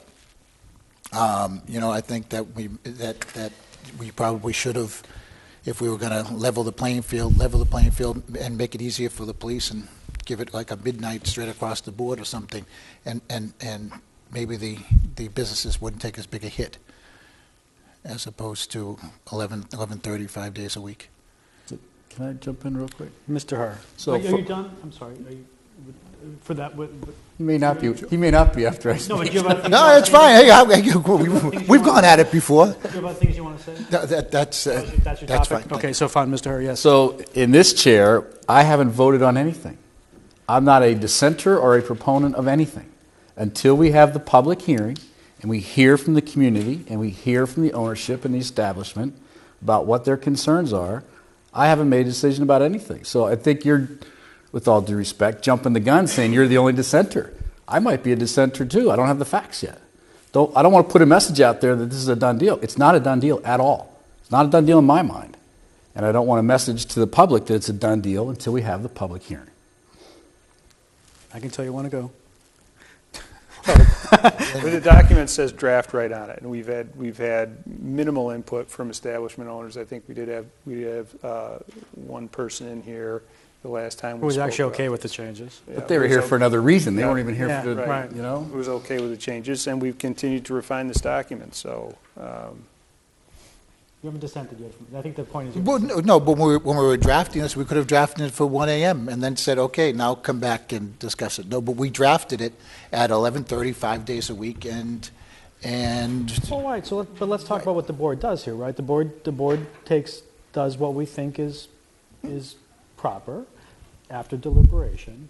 We did talk about the fact that we do, I think there's a general consensus that we at least perceive there to be some difference between businesses that are downtown in a heavily residential district and non-residential district businesses, right? And we, and to the extent we've gotten feedback so far, I've heard no one but you push for 1 o'clock. Right, I've had no business come in and say, I want to be open to 1 o'clock, seven days a week. So I, I think it is important to point, you know, I think you're trying to create a distinction from yourself from the rest of the board that does, that the board doesn't feel exists. I think everyone's drafted this. I think there's a public hearing process for a reason, and, and then we'll, we'll refine it based upon that. okay. Question, anything else? Does anybody want, want to change any of these things before we post the public hearing? Mr. Khumalo, do you have any thoughts on this, or you, in your mind, is this ready to go to a public hearing? I think f- uh, for the public's interest, my understanding of the process so far has been the board thoughtfully going through the issues that the policy may address. Secondly, at staff level, we also did have an informational meeting with some of the key establishments that will be impacted by this, gathered their feedback, and will share it with the board as part of the uh, uh, public hearing process. And thirdly, we have uh, the board has reiterated at every meeting that there will be a public hearing uh, for this process. And as part of that public hearing, staff is required, the town is required to contact all establishments that are impacted by this. So that will happen. Uh, and then thirdly, we're also uh, maintaining our lines of communication open with the establishments. Uh, some of them are here tonight, and we'll also be inviting them to, to the public hearing. Uh, the goal, again, has been for the board to at least put together a document that will be available at least 14 days before the public hearing for everybody to review. Thank you, Mr. Collins. Mr. Cestari, you had a follow-on. Yeah, I'm just wondering, um, I'd like to ask the town manager on the license fees, the transfer of license. How accurate would you say $100 is to the cost that's incurred by the town to review documents that pertain uh, to a new liquor license or a new, a new purveyor in town uh, with respect to town counsel, public safety, uh, people here in town hall, and anybody else who's involved? Uh, Would you say it's less than $100 or $100? The time spent by, t- by town staff and town resources is substantially higher than $100. Okay. Closer to 110. So it seems to me like we should be able to come up with a better number than $100 for the transfer of license. As a general comment, we should make sure the fees obviously are covering the cost. I think a, a, a, um, a market study of the fee would make sense. Just a quick call to the surrounding communities, because that sounds extremely low Mr. Khumalo? in this day and age. Through the chair, we have an established two-step process for recommending fees for the board's consideration. First step, we do a detailed review and analysis of the times actually spent processing the application. We then seek information from surrounding towns purely as a point of reference, not necessarily as the reason for establishing the fee. Okay. Mr. Mosier, over to you. Uh, chair, uh, Mr. Powell, you mentioned you'd spoken to some, some establishments in town. Um, Could you just kind of summarize what the feedback was, or if there's anything specific the board should be aware of? Yes, um, I met with uh, representatives from the establishments that currently close at 1 a.m. Uh, there were four establishments represented at that meeting. There appeared to be concerns with regard to how the proposed hours could impact um, days that the establishments have established over time as event nights. Uh, I mentioned Sunday night football, Monday night football, Thursday night football, uh, as well as New Year's Eve. Um, the second concern was that there are establishments in town that have clearly created a late dinner niche in the market. In other words, they are known as establishments that uh, people visit at 10, 10.30 to get a meal. And they felt that they were going to be losing those customers. So, Uh, Well, I'll let John keep going. I'll come to you Just- next. A quick follow-on question. Um, Would it be appropriate to ask the, um, the um, department heads that weigh in on permitting, maybe to put a report together for the town that would outline if there's any history of noise complaints or public safety issues around these, these closing times that because I don't know, if there's information that may or might, may not be there, could we put our town professionals on that, say, yes, there is this issue, and, or maybe, no, there isn't this issue that we could take into consideration? Well, again, members of the public can come to the thing too and talk about whether Right, it right. impacts their lives or not. Y- Yes, and the, the draft policy will be circulated to the permitting team for comments. Okay. Mr. Herr? you know, I haven't been doing this for a while because I have five kids, but I think Boston, everything closes at 1 a.m. Is that true? Is that, does that sound familiar to everybody? Is it 1 or 2 a.m., whatever it is? But it's, I think, across the city, everywhere, for bars and restaurants. And some close well before that because the business dies off and they say, okay, we're going home for tonight. Um, and I, I guess that's my goal here is to try and be uniform in how we do it. I don't care if it's 1 o'clock. If that's what the people think and that's what the businesses suggest and that's what uh, uh, you know the community wants, I'm fine with that. But I think we just need to be consistent in that time. We can't give one a 1 o'clock license and say to somebody else, you're closing at 11. That's, I think, highly discriminatory and unfair business. Um, that said, you know, in the 15, 16 years I've been in town, I can't remember the last time I was in a pub or a restaurant in Hopkinton at 1 a.m. that was open. Not that I wasn't there when they were closed either, for that matter. But I don't know who these four places are where they're serving food and that's going on till 1 o'clock in the morning. Now, maybe I've just become a boring old guy, but I, I just, I don't care, but we have to be, have to be consistent, in my opinion. Well, again, that's what the public hearing's for, right? Is Right. to hear, is let folks, it's basically come out now and, you know, say what you think, so. Okay. What? Go ahead. Um, I, I just, I hate to, you know, keep my questions on the same subject. Back to the fees. Let's get back to money.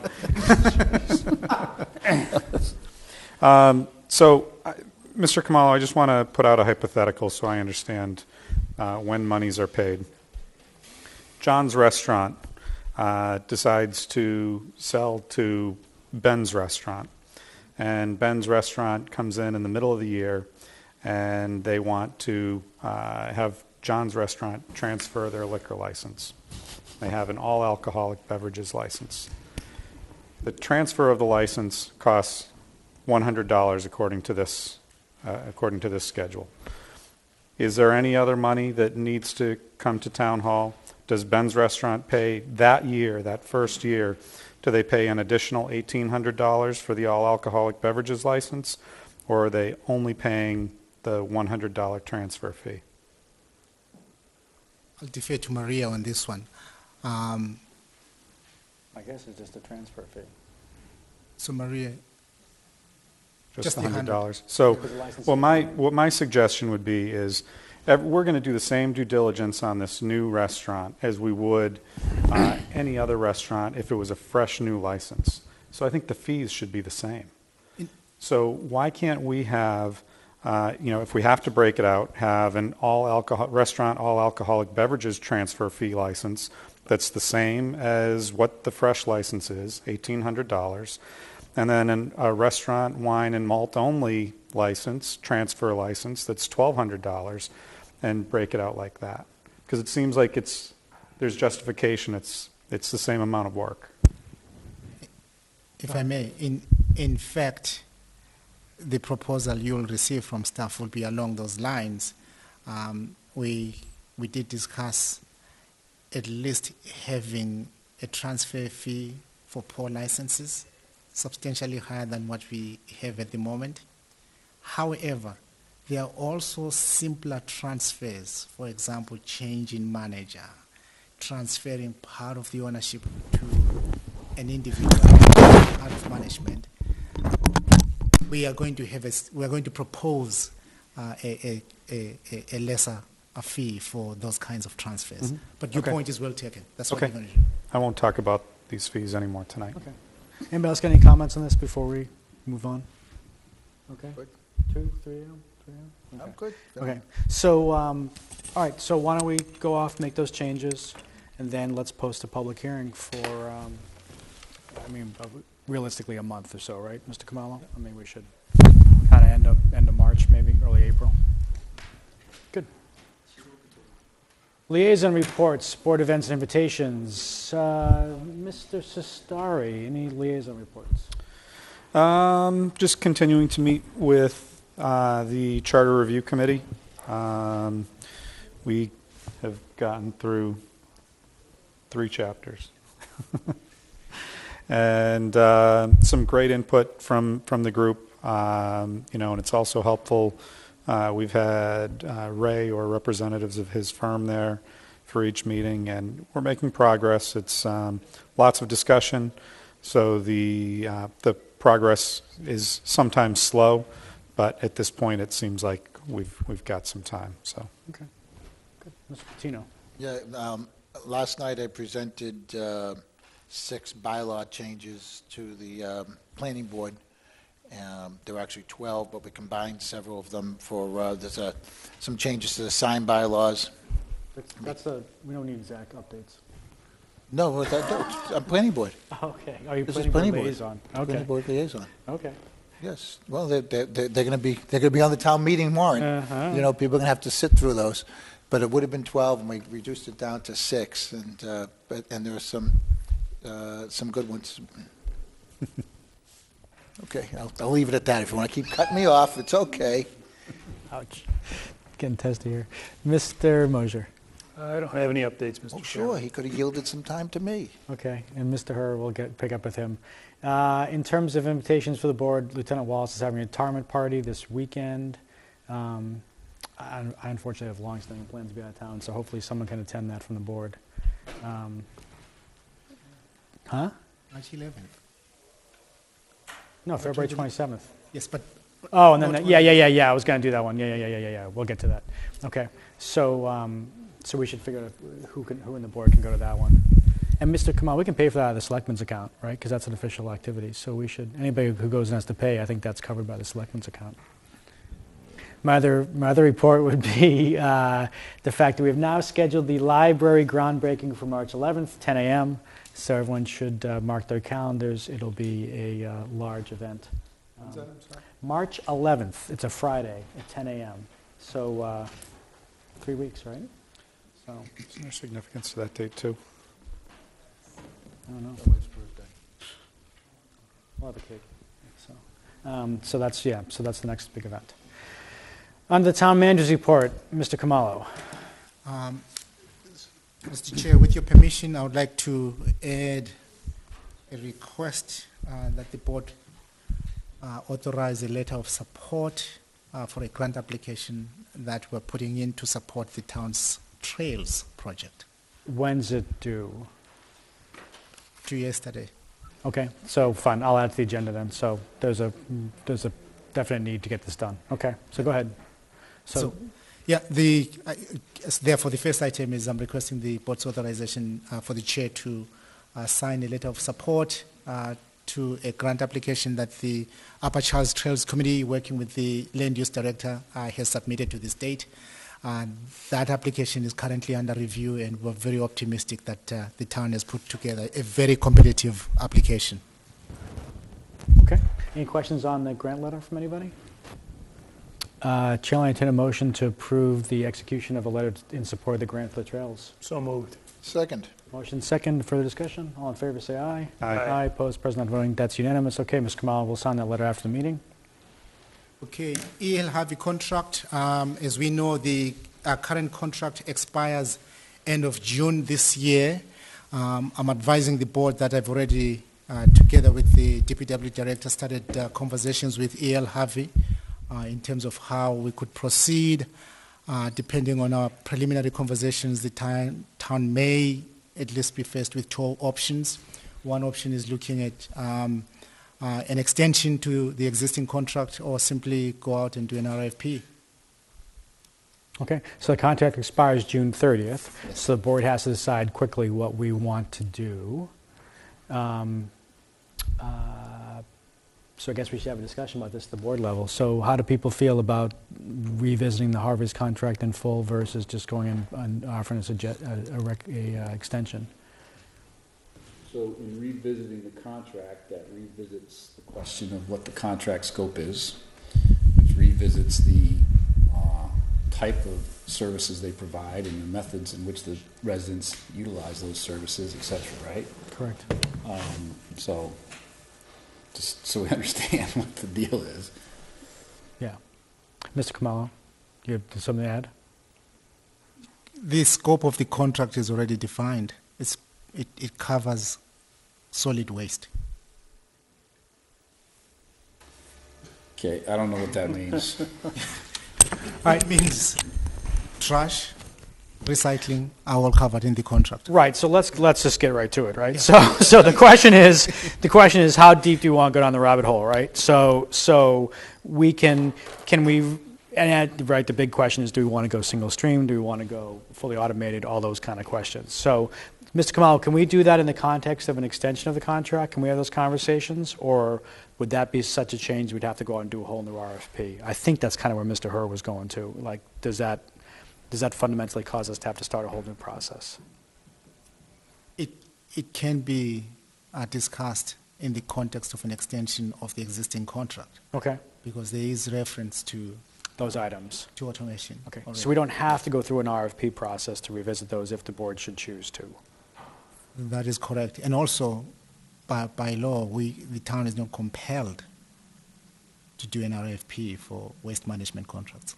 Oh, really? Okay.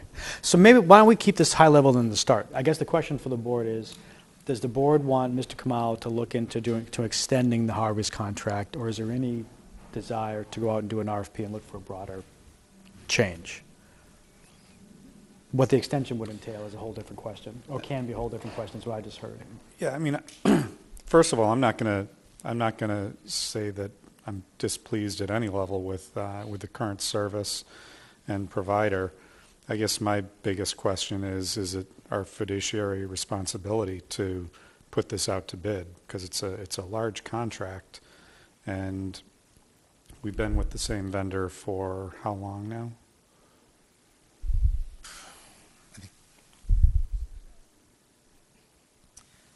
I've been here six, seven years now. Mhm.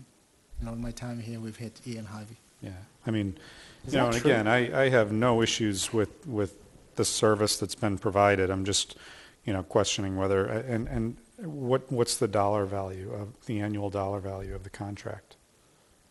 It's pretty substantial, around, I say, six hundred and fifty thousand. Yeah, it's- it's over half a million bucks. Okay. So I was a little north of that. I mean, you know, I would, I would hope that if, you know, whatever, whatever we were getting, eh, you know, whether it's, uh, you know, insurance or trash pickup or things like that, you know, for a number like that, I would hope that at the end of a contract, you know, we have to, we have to consider uh, putting out some type of an RFP. Well, it So sounds I'm like we can negotiate too. We could negotiate Yeah. an extension that, to our, to our benefit, and obviously Mhm. we want a win-win for them too, but we want to negotiate, I think, as well. I think that's an option. Yeah, no, I agree, I agree. Well, and, and also just to, co- not to dissuade any of us, but just to point this out, though, if we do that, that's going to mean setting a scope of services, which is going to, again, inherently involve a discussion of all those topics that came up last time, the recycling, the single stream, the, the bins, all that kind of stuff. So I Mhm. just, we should just be prepared for a, a large conversation if we do that. Mhm. Okay. And we're going to have to probably have that conversation early on, because we're going to have to do that to be able to get bids. Oh, yeah. Okay. Mr. Mosier, you've been quiet. Yeah, I'd- love to have the conversation. Um, I think single stream would just be easier for one. Um, I think it would keep things a lot cleaner. Um, Last few windy days we've had, I've seen a lot of, lot of stuff blowing out of recycling bins and trash bins and things like that. It'd be great to have some better um, receptacles for that sort of thing. Um, Some people have asked questions about the size of the barrels, and I'd be interested to see if there's flexibility around the size, if people choose to have a smaller size. Um, the Recycling bin was pretty ginormous that we saw last time. And I think there was a substantial savings to the taxpayers also. So, Mr. Khumalo, I think what we should probably do is maybe for the board to consider, maybe we could have like a little, just even just a bullet point list of key elements we have to decide what we want to do before to do it. I think we should be gearing up for an RFP is what I think I'm hearing from the board. We should be, you, would, I, I guess, uh, you nod your head, but I, so I guess I took it as a sense. Yeah, I, I just, I just want to make sure that we don't uh, do a uh, re- reduction in, uh, in services. Okay. Throughout this, this whole thing. We- Four years ago, we, we went from unlimited to two barrels of trash, and I just want to make sure that, since we just passed that nine million dollars, that people uh, are paying more this year, that we're not going to give them less. You know, and I think that to Mr. Herr's point, it's, you know, it's probably also worth a, a quick conversation uh, with, with uh, E.L. Harvey as well. Um, About what, though? I mean, I, I thought you just said a minute ago, I thought you wanted to do an RFP and get it, put it out to bid. Well, I'm, you know, I think that, I think that uh, if, if we were in a situation where we can justify not putting things out to bid, then I think that's fine. Yeah, So I'm not trying to be difficult, I just want to understand what, uh, um, um, how would you know that, given that you said you want to put out for bid because you want to make sure the cost is right, how will you know the cost is right if we don't have comparators? I think if the cost were, if, if the, I'll come- that's what I'm- if the burden on the taxpayers were coming down for the, for the level of service that we have right now, I think that, Okay. So if we can get a cheaper That would contract justify at any level, you're, you'd be content to not put this out Okay. Mr. Khumalo, did you say, were you going to say something? I'll come to you in a second. I just want to make sure you didn't have anything important. Yes, um, in, it, in, in fact, it expands on uh, Mr. Cestari's point that I think tactically it's helpful for, for staff to sit down with E.L. Harvey and get a sense as to what direction the contract may take going forward. Okay. In terms of compari- comparisons, we are pretty familiar with the numbers that are out there. We share this information with our partners, and most importantly, there's a there's an individual at state level who's assigned to assist us as towns when Okay. we go through mm. this this contract process. So we do we have the market basket Okay, comparison. so you don't have to necessarily go out to bid to know. Exactly. Okay. And we can make a quick decision in terms of is the, is, is the information we're getting from Harvey's Mhm. advantageous to this community or not? Okay. Uh, and we also factor in the town's long-term goals. Uh, you may get a great contract uh, for, for two years, which may not necessarily support the town's long-term goals. Yeah.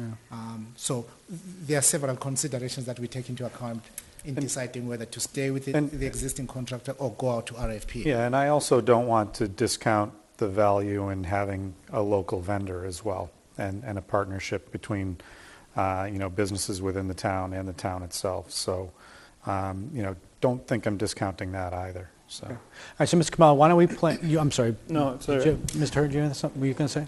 My, my only thought is, I'm not inclined to go to RFP. I'm more inclined to negotiate with our current supplier uh, to improve services and try and work for the taxpayers' benefit. Okay. Um, With an understanding that that would also, I think, include scope of services and how we do what we do at the curb. All right, Mr. Khumalo, so why don't we, why don't we start the conversation with Harvey's about an extension? I think you heard the pressure points. We don't want reduction in service. We do want reduction in expense.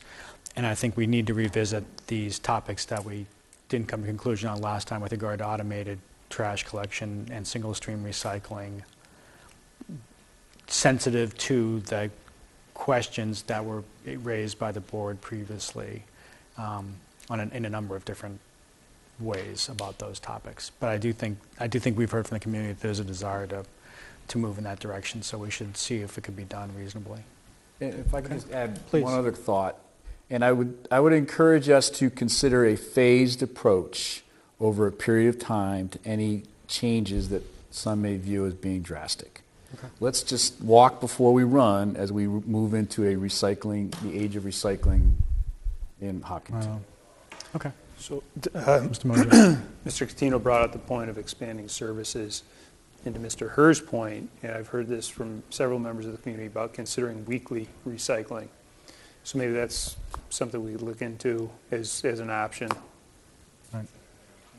Again, my guess is all this stuff starts to come together, right? Because you, you mm-hmm. got to get the cost down if you want to do that kind of thing, and not so that means you probably go in single stream, which means you're probably having to talk about the bin. So this is all going to get tied together, I suspect, in some. So this may be a matrix. crazy, what is single stream? Can- Everything goes in one. Everything in the same Everything goes in one bucket. So plastics, cans, paper, everything everything. one. everything goes in one can. Kinda remember like they some- remember they Kinda like some Isn't members that of my easier family for do us? now. It is, it's easier, yeah. It is the the issue last time was everyone liked it except the cans were ginormous, and so that was the issue for for folks. Did the cans have wheels? Yeah, but they were big. I mean, like Actually, we can actually, Like, we can act- mix, the- mix them now. All right. Okay, so we can get into the weeds later, but I think. we can get into it. And then they wanted to go automated, which meant they had to have all the same can, which meant they wanted to give everybody new cans. Well, there's the part where I'm saying walk before we run. Well, again, I, but I know? don't, I, I hear you, except I don't know that it's not all tied together because, you know, the there's only so many ways you can cut the costs, right? One of it is the guys don't have to go out of the truck anymore and get, pick the stuff up, which means you got to have a can you can pick up in every case. So it, again, we're going to have to Okay. work through a matrix, I suspect. All right, Ms. Khumalo. But I still think we should, uh, you know, we should, we can't discount a, um, a local employer that um, brings a lot back to the community. Okay. So good. So we're going to work on the contract. Right. Next, Mr. Khumalo. With your permission, Mr. Chair, let me jump on to number three, the 203 Pond Street, realizing Yep. uh, the proponent is here. Um, The conservation restriction proposed for 203 Pond Street has been reviewed by all entities, HALT, um, the state agency, as well as Ray Meares' office, and they've all approved the language as presented. Okay. Uh, Dave, Good hi. evening, Mr. Chairman. How are you? I've been better. Shouldn't have asked. So, Now I'm dealing with, Um, I'm dealing with one disaster after another, so. okay. Well, I'm sorry to hear, but thank you for coming in tonight. uh, This cold weather really did a number on my house at the Cape, so. Anyway, it's been a three-year process uh, for 203 Pond. Um, We're about to have signed the CR for the 32.34 acres. Um, We've done the surveying of the property, and um, I was trying to say thank you. we've spent a lot of time preparing the s- the conservation restriction documents. There was some last-minute changes. Uh, John is now living, uh, Mr. Coolidge is now living up in New Hampshire, and so the New Hampshire address and uh, New Hampshire um, notary has been affixed to- to the document. I have two copies for signature and four copies just for your use. I haven't signed this document as yet, but essentially what we're saying Awesome. is, do you want Yeah, I'll take it. Yeah, sure, thank your you. four copies there? Right on. I have the two signature copies, which I will sign, Maria can, um, These are for execution, Dave? those are the corrected editions, yes. For, ex- for execution. Okay. Excuse me? For execution, for signature. No, We I need- have the signature copies. So these are just for us to look, th- look Those are at? just for you guys to, Yeah, we have electronically. I didn't realize. I thought you to were giving us enjoy, signature. so, um, I'm wondering if, um, at the present time, there's, um, a trail, or are trails on the property. This is all your stuff. Okay. There will be, um, more trails. There will be a parking area off-street that will house six or seven cars. Um, Similar, or maybe even larger than the one that we've prepared up at Whisper Way. Um, I don't know if anybody's been up to Whisper Way to see that, uh, and that is going to be and is a premier property. We've had a lot of action up there. Uh, The the, um, geocache is getting a lot of action, the trail is getting a lot of action. So we're here to have this signed off. I'm wondering if anybody has any questions. Okay, questions from the board. Ms. Catino? No, this is, this is something that uh, Trails Committee's been looking forward to, and and it's a, it's a big expansion. Um, I, it's- Really happy about this. No Well, interest like All I can tell you is, we walked there in the fall, and I came home with about a half a dozen to a dozen ticks, so Yeah, it's ticky. yeah. it's, it's, it's a good property. The trails will be premier trails that will go over to both Whitehall Conservation Area across the, the street, and also the Upton State Forest. Mr. And we'll be open to uh, equestrian Mr. Mosier? and bike riding. Mr. Mosier, one more time. No questions, I'm good, thank you. Mr. Herr? All this is in line with the deal, the sale of the land, everything else that was agreed Yes. prior. As a matter of fact, um, SVT is getting the land, and uh, as soon as this comes back from the state, uh, the land will be transferred over to SVT. I think it's great. I've, I have discovered trail running in Hopkinton in the last year, and it, it's awesome. So I'm excited for the town, and I think Um, it's a great opportunity. Mr. Catino, I mean, Mrs. Cestari. No questions. Dave, my que, so who owns this land? The, Right now, John Coolidge owns, the John and Ann own the land. It will be transferred to Sudbury Valley trustees uh, at the same time that this gets recorded when it comes back from the state. so it'll be owned by SVT? It will be owned by SVT and will be managed by us. The whole Hopkinton Area Land Trust Right. will manage the property under this conservation restriction. Okay. The town counsel has, Yes, Yes, there's reviewed it, the, the selectmen's involvement is purely administrative. right, Again, Sudbury Valley yeah, owns owns, it, owns, oversees and manages locally, yeah. and by law, the selectmen are supposed to, are required to sign. Okay. Right. Well, before we, I'm sorry, Mr. Herr, go ahead. Oh, Um, can we, Dave, h- um, how do you, did we, didn't we have an agreement before about how you're going to name things? Here's why I'm asking you. No, I drive into Fruit Street property and I see trails that you all have named and I don't know how or why. Okay. You had, so, because it's on town land. correct? So how do you, didn't we come to an agreement before about, about how you're going to not name things on, without the Board of Selectmen's approval on town land? Yeah. On town land, the board passed a policy that the board would select a name for the property itself. Right? Has nothing to do with the trails. The trails are, the names of the trails were done in conjunction with SVT, and the names of the trails are entirely separate from the name of the property. Yeah, that to me is a difference without a distinction. I think that, or distinction without a difference.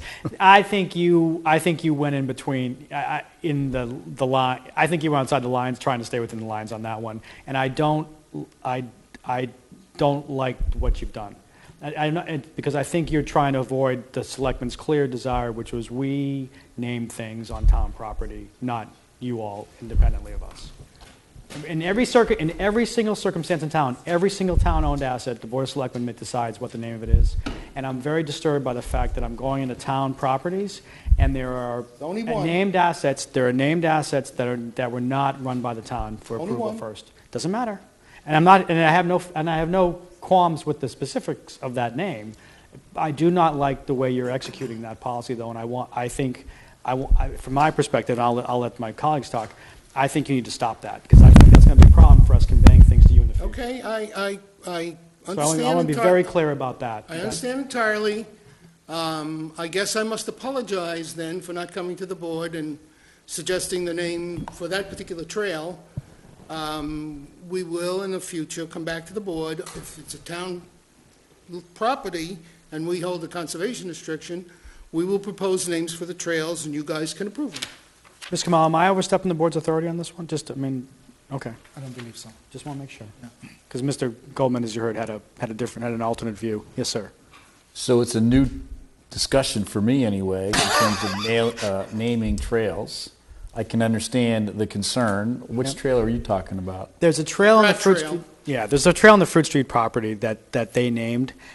It's on town property and they named it.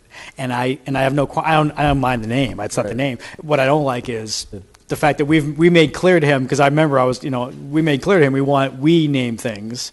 And all of a sudden, these names start showing up and we have, we never even knew about it. I, I, I- So, If you guys are With all- open to it, I think it makes sense because we're consistently talking about names, you know, on streets. with and all due everything else. respect, Mr. Chairman, Yeah. it's not showing up everywhere. It's the one trail. Oh, well, again, that's the one I see because I drive past all the time in the spring. I didn't know that until you just told me that. It All I the- saw was one It example. is the one and only trail that we took the liberty of naming without coming to the board. But going forward, because we just bought a lot of land, it's going to have some trails on it here in the next few years. Going forward, you guys will come and we'll talk. Right. Well, and part of the reason I'm perturbed is it would have been much better named on the, on the new land we just bought, right? So we could, you know, there would have been a better, if we could have talked about this first, we could have had a- an equally good, if not better solution that Well- would have been, would have taken into account our, you know, our views, which, Let me, let me propose the following. We're proposing to put another trail in the Fruit Street property, and the name we would propose is the Pratt Trail North Section. And we will come to the board with a letter that says that's what our proposal is, and if that's not what the board's desire is, then we will propose other names. right. I do not, th- I do not think it is a matter of policy, you should name anything without running it by the board, if it's on town property. Okay? I, I And agree, I we- agree we- with. And we have not done so, other than that trail. Okay, well, you're about to do it a second time, it sounds like, so don't, yeah, don't. Because again, and again, Dave, think about, think about in the context of the farm itself, right? I mean, there's stuff you can do there. So I'd like to, I'd like to have this conversation. I'm not against any names, any names specifically. Easy street. I do want to, I do want to, exactly, unless you want to name it Easy Street, we're never Well, going to go for the Easy Street. trails, the north, the north section trail could indeed go into the, the Pratt property that the town now now owns in the future, and it can carry the same name. Well, again, I, okay, well, again, we'll have the Could. conversation. When you We'll come have in- a conversation When you come in, we'll have the conversation, but I don't, you know, we don't need, the- the- that, you know, we can sprinkle names around, right? There's other names in town. For the record, for this particular property, we're call, we're proposing to call it Whitehall Woods. Yeah, okay. The reason we're going to do that is the Whitehall Woods Alliance was involved in, as you guys know, the, the attempt to have the town buy the property in its entirety, and uh, we felt it appropriate to name it Whitehall Woods. You own that land, so what it- whatever you do Well, with that is not Sudbury my does, and concern. we, we have Yeah, the I mean, conservation. right.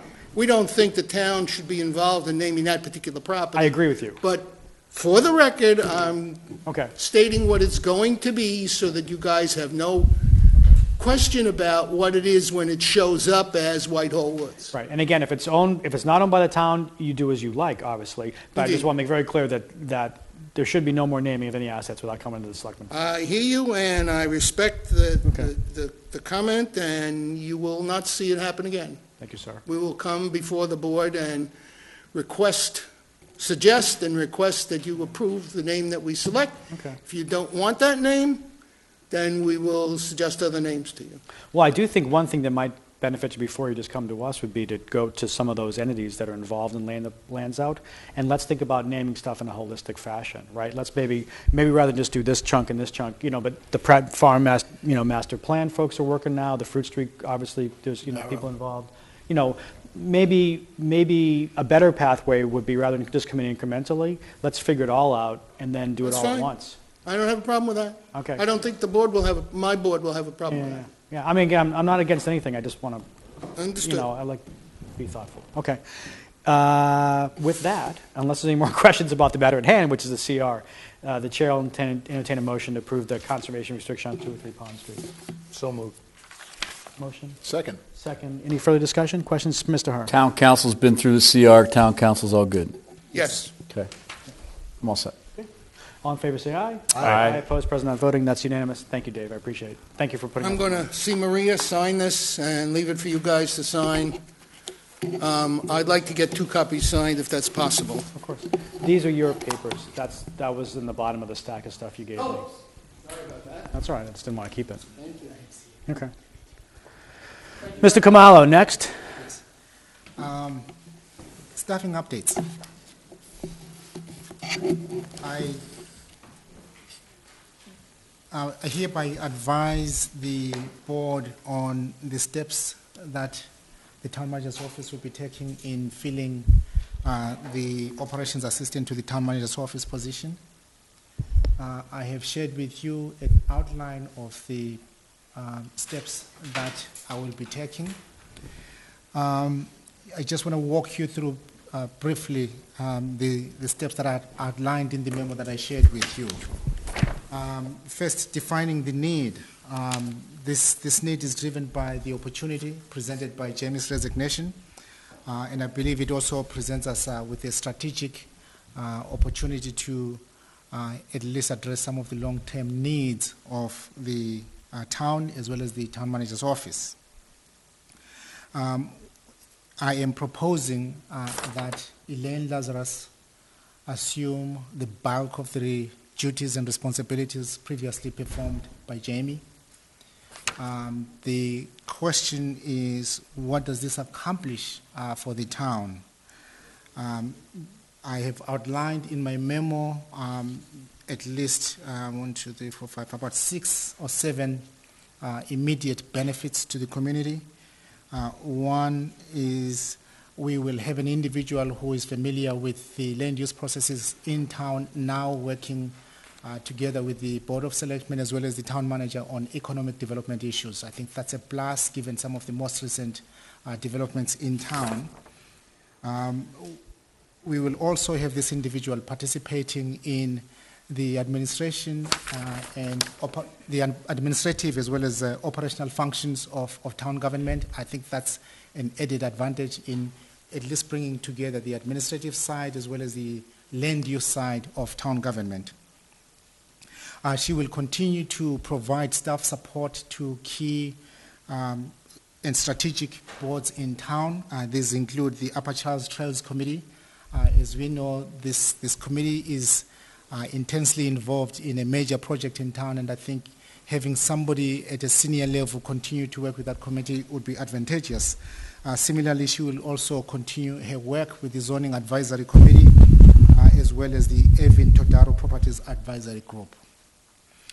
Um, we will also have this position attend to special projects in town. Uh, these are projects that come in on an ad hoc basis and require our immediate attention.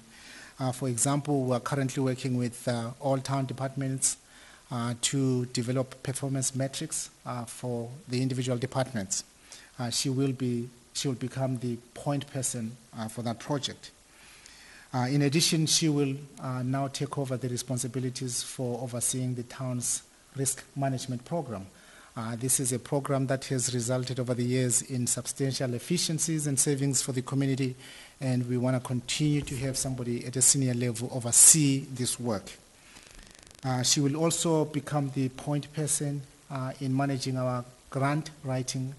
Uh, as you heard from the finance director, we are, I think, doing very well as a town in bringing grant resources.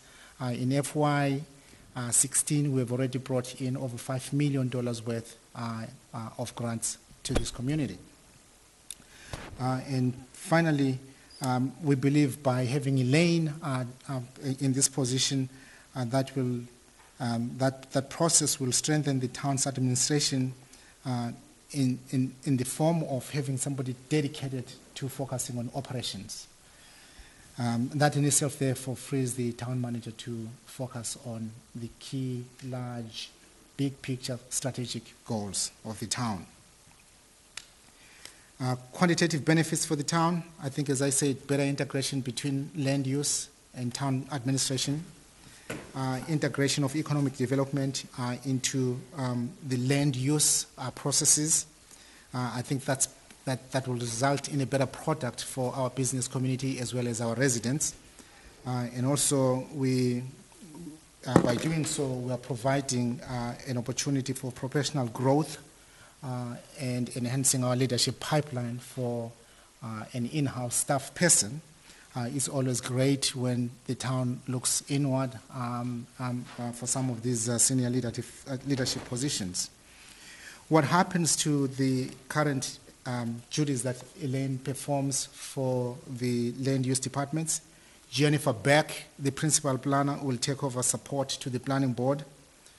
Uh, will, Elaine will continue to work with Jennifer in completing the updating of the master plan. Elaine will also continue to monitor the implementation of legacy farms. This is a substantial project. She has the history of the project, uh, and she's more familiar with the community expectations, and I believe she's better placed to monitor the implementation of the project.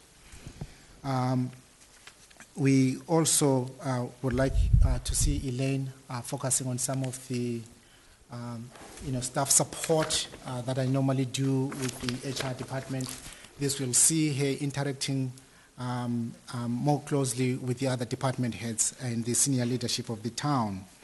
Uh, Brian, in answer to your question, is the funding for this position budgeted? Yes, it is. Uh, there will be uh, savings at least in FY16, given the fact that um, we will not be filling uh, the uh, position that Jamie vacated. Um, what do we need to do as an organization to make, to make sure that uh, Elaine is successful? I think town government will need to present this role uh, as one that will pick up meaningful, challenging work uh, and also provide uh, the required development support that normally would come from HR uh, to Elaine. Implementation plan, um, i want to do this immediately. Uh, I have been in conversations with Elaine. She's excited about this opportunity. Uh, he talked with the chair of the planning board. He understands why we need to do this. Um, um, and what are the risks? I think, I think there will be a learning curve uh, for both Elaine as well as Jennifer Beck. Uh, and you will see the normal transition cost that you, you get whenever you uh, promote one individual to another position. Um, we will also uh, commit to having the town manager and HR continue to monitor and evaluate the implementation of this proposal. Take any questions from the board. Again, the idea here is to have Elaine assume the bulk of the responsibilities that were previously performed by Jamie. That moves it down to the uh, town manager's office. Uh, hmm. The question may be what is her title? Clearly, the title is moving her role more towards the assistant town manager role. Mr. Moore, you're ready to start. Um, Thank you, Mr. Chairman. So, so Norman, there's, there's a few things, there's a lot in here that I like. There's a couple things I'm not sure if I like, but I, I want to, um, I want to make sure I got this straight. So, uh, so you just wrapped that up and then alluded to the assistant town manager's role. And, and one of the things that I don't like about looking at this is filling the operations assistant role. Um, I think Elaine's held a position that's senior to the operations assistant for, for several years now uh, both in pay and both in, in responsibility. And, and so I think we need to define the role, what, what it is she's going to be doing. I mean, Jamie, a, a large portion of what he did was administrative work. Great relationships with the community and customer service and all that sort of thing. But, um, and I think last year prior to budget, uh, budget season or during budget season, we talked about the assistant town manager's role. I mean, that's, that's really what we should probably be growing towards, right? And, and to me, this proposal looks a little bit like shoehorning into the role that Jamie had, and I'm not sure why we don't just talk about like director of operations or assistant town manager, what it is, what it is that we really need, what it is you're really trying to get to. Go ahead. Um, I, think overall, you, I think as the board did experience this, and I think the community saw this. Yes, Jamie was brought in to do administrative work. On the ground, the town was getting more from that position than what we're giving back to, um, to Jamie. Uh, so day to day, um, Jamie was acting, in fact, as, as a chief of staff. Um, he was attending to customer requests, not necessarily from an administrative viewpoint, but rather from let's get it done. Uh, he, for example, if there was a question coming to the office regarding a service provided, let's say by DPW, Jamie's role was to make sure that he interacts with the director to make sure that that, that, that piece. But Mr. Khumalo, this goes to the title, though. I think it was his, point, right? The title is The- The title and some of the job, the job expectations, I think, that Elaine's got more administrative. tons of Yeah. this planning experience. I think she has a master's degree now, or is close to it, correct?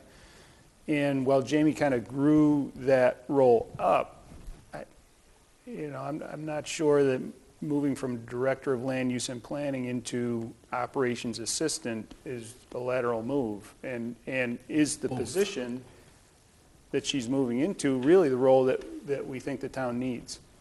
To be clear, she is combining two positions. She's not leaving her directorship of the land use department. She will continue being that director. And then she'll, she's also bringing that higher level uh, director role to the operations function of the town.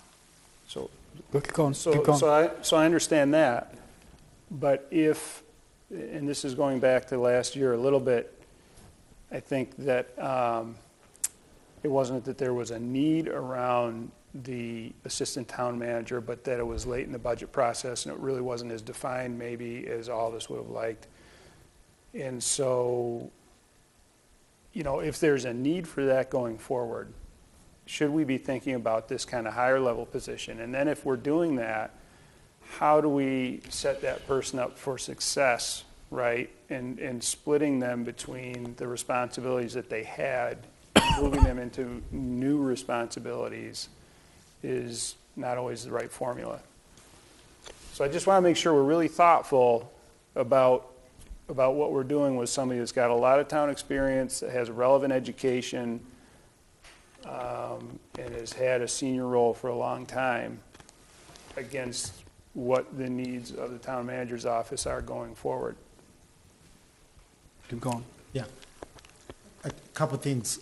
Clearly, again, she will not be coming in to do administrative work.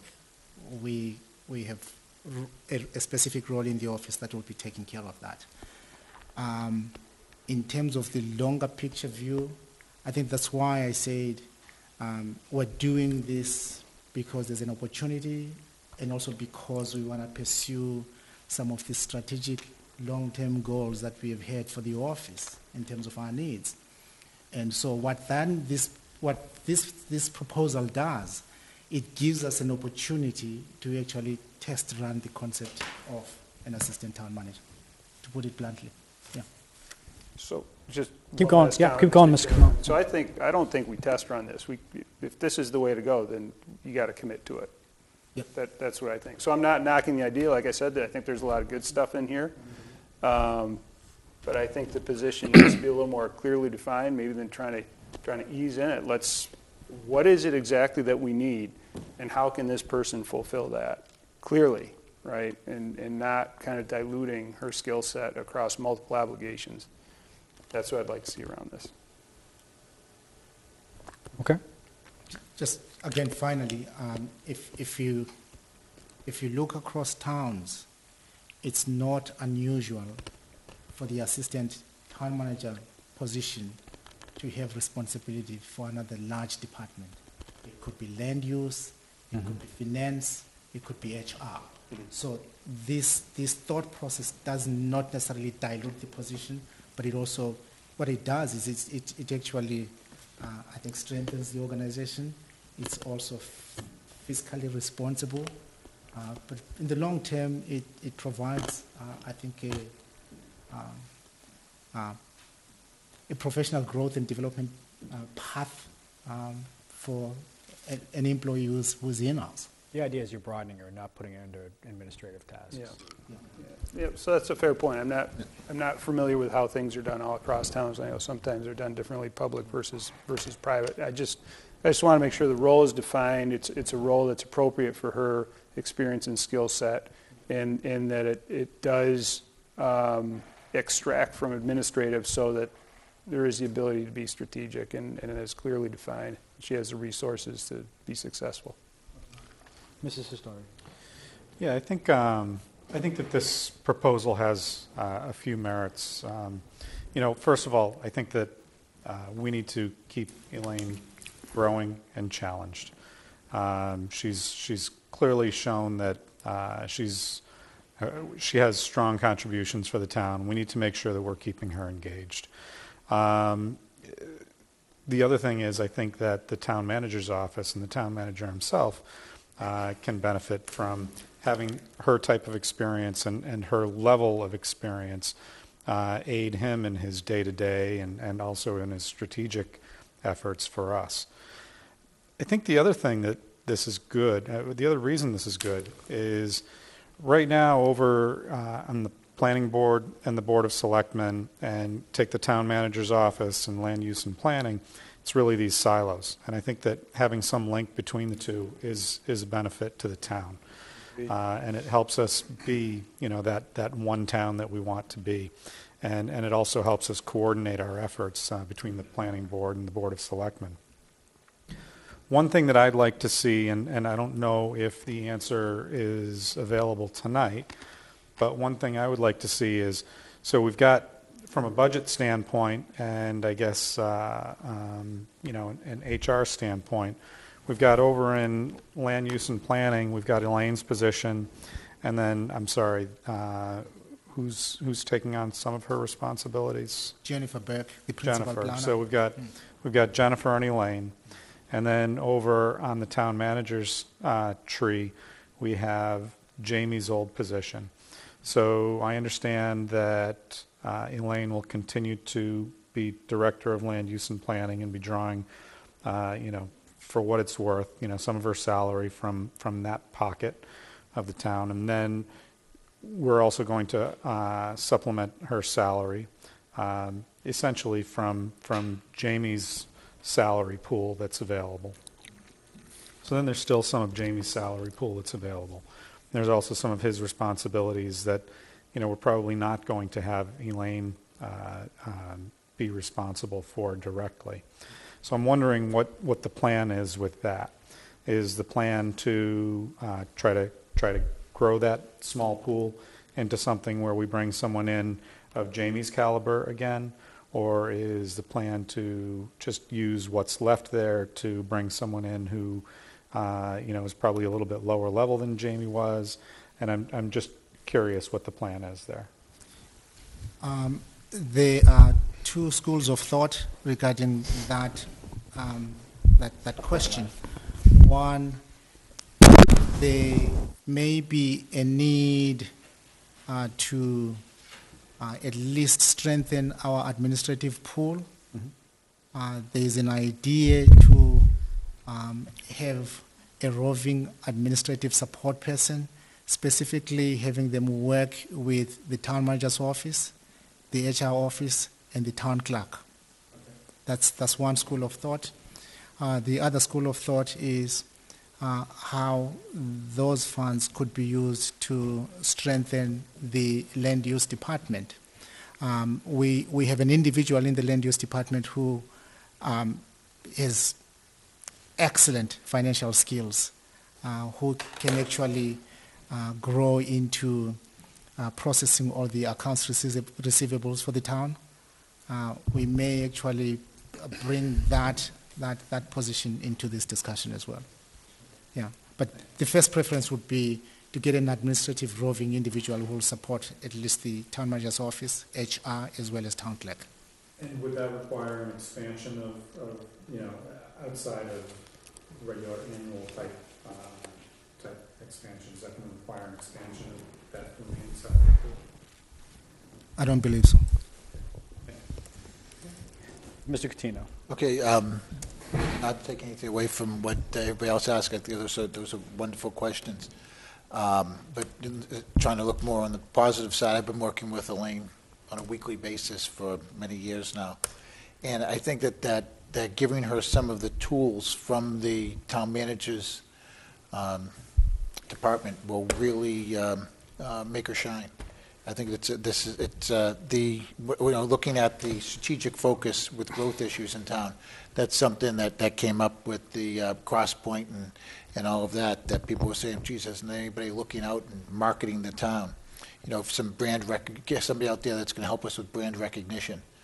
Um, And I think that, that um, the uh, integration uh, of economic de- development and land use is going to be a real boon for the town. So not, uh, all those other things are very important, and I think we have to look into them, but um, this is uh, just something I think she's going to be just fabulous for the, for the town.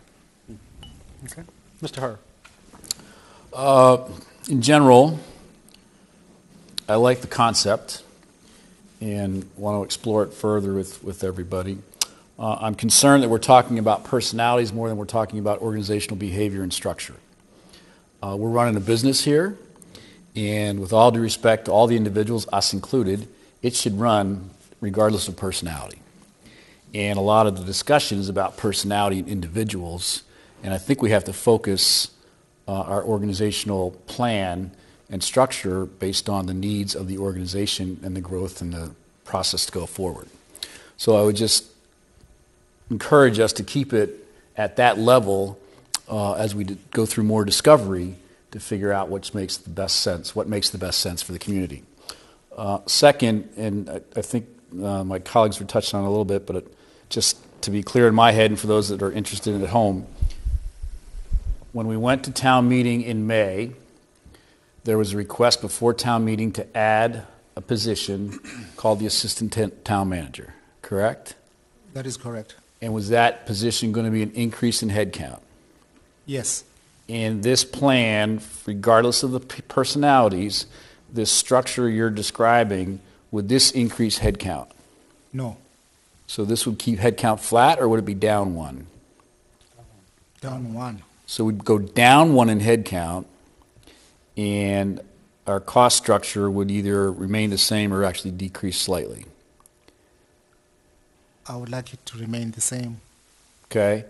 How about the administrative support to come in to support this position, that roving position, whatever? Is that an increase? Would that be an increase in headcount? I mean, what's the long-term plan to support this new creation? Is that going to increase headcount? It will not. Okay. So the only concern I have outside the personality discussion, uh, which I'm sure we can get past quite quickly, is are we violating the will of town meeting by trying to do this, or not trying, implementing something along these lines? Um, and I don't remember all the details of the debate around that question before town meeting, but I'm assuming a fair bit of it was increase in headcount and increase in cost. So if, it, if that was the debate at town meeting and that was the concern, and that's why it failed, then we're not violating the will of town meeting by not increasing headcount and not increasing cost. And then I'm more comfortable moving forward with an organizational structure discussion, and then we'll slot in personalities after we figure out the structure. Do you know what I'm saying? Yes. Um, in my understanding, the request before town meeting was whether we could appropriate funding for the position. I don't believe um, that the charter or the town bylaws require town meeting approval of the organizational structure. Fair enough, but there's politics in town, and there's perception in town, and we have to manage to that perception whether we like it or not. And as long as we recognize and respect what town meeting said, but still recognize that we have to manage the business on a day-to-day, week-to-week, and month-to-month basis in between town meetings, and we're not violating the uh, the message that town meeting put forward by saying no, I'm comfortable with it. But I just want to be very clear and articulate those ideas and those thoughts and those concerns so that if anybody else shares them, that they can voice them now before we go too far down this path. We're not voting on this tonight, I assume. So, There's nothing to vote. I'm He- sorry? There's nothing to vote. He runs the store. So he could go ahead and do this unilaterally? He can do it. He's just, he's just like, I mean, again, this falls in the category of things that are unambiguously in his control. He's just, unless he needs more money for it, which he doesn't, he can, he can do this tomorrow. He, he All- could have already done this. all the more reason why we should, you know, support where we can these types of initiatives. So I'm, I'm very interested. I like this idea. I think it's a growth opportunity for our, our structure, our structure. Uh, it's not a burden on the taxpayers that I can see, uh, any, an additional burden. It's not a future additional burden by increasing headcount. Um, so I, I'm wide open to it. Uh, the title, I think, is something that we need to be sensitive to because town meeting said no assistant town manager. So let's be re- respect that and understand not that we're trying to do an end around, but that we want to do this in a way that's respectful of that decision at that time. Can you do that?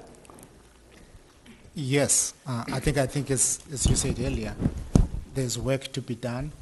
On a day-to-day basis, we have to manage the organization, making sure that the work gets done uh, on behalf of the citizens of this town. Okay. Mr. Mosier. So, so to be fair on the town manager thing, there was, last, last year was last year, and you bring up some good points, Mr. Herr, but I, there, there wasn't a, real structure around that proposal. And I think that this is, this is a good time for Norman to be able to put that structure around this and, you know, package it up. I just, I'm just not entirely sure how you do it without headcount, either, um, I mean, are things slow in the land use department? Are we going to have one administrator and then this position in, in the, in the town manager's office?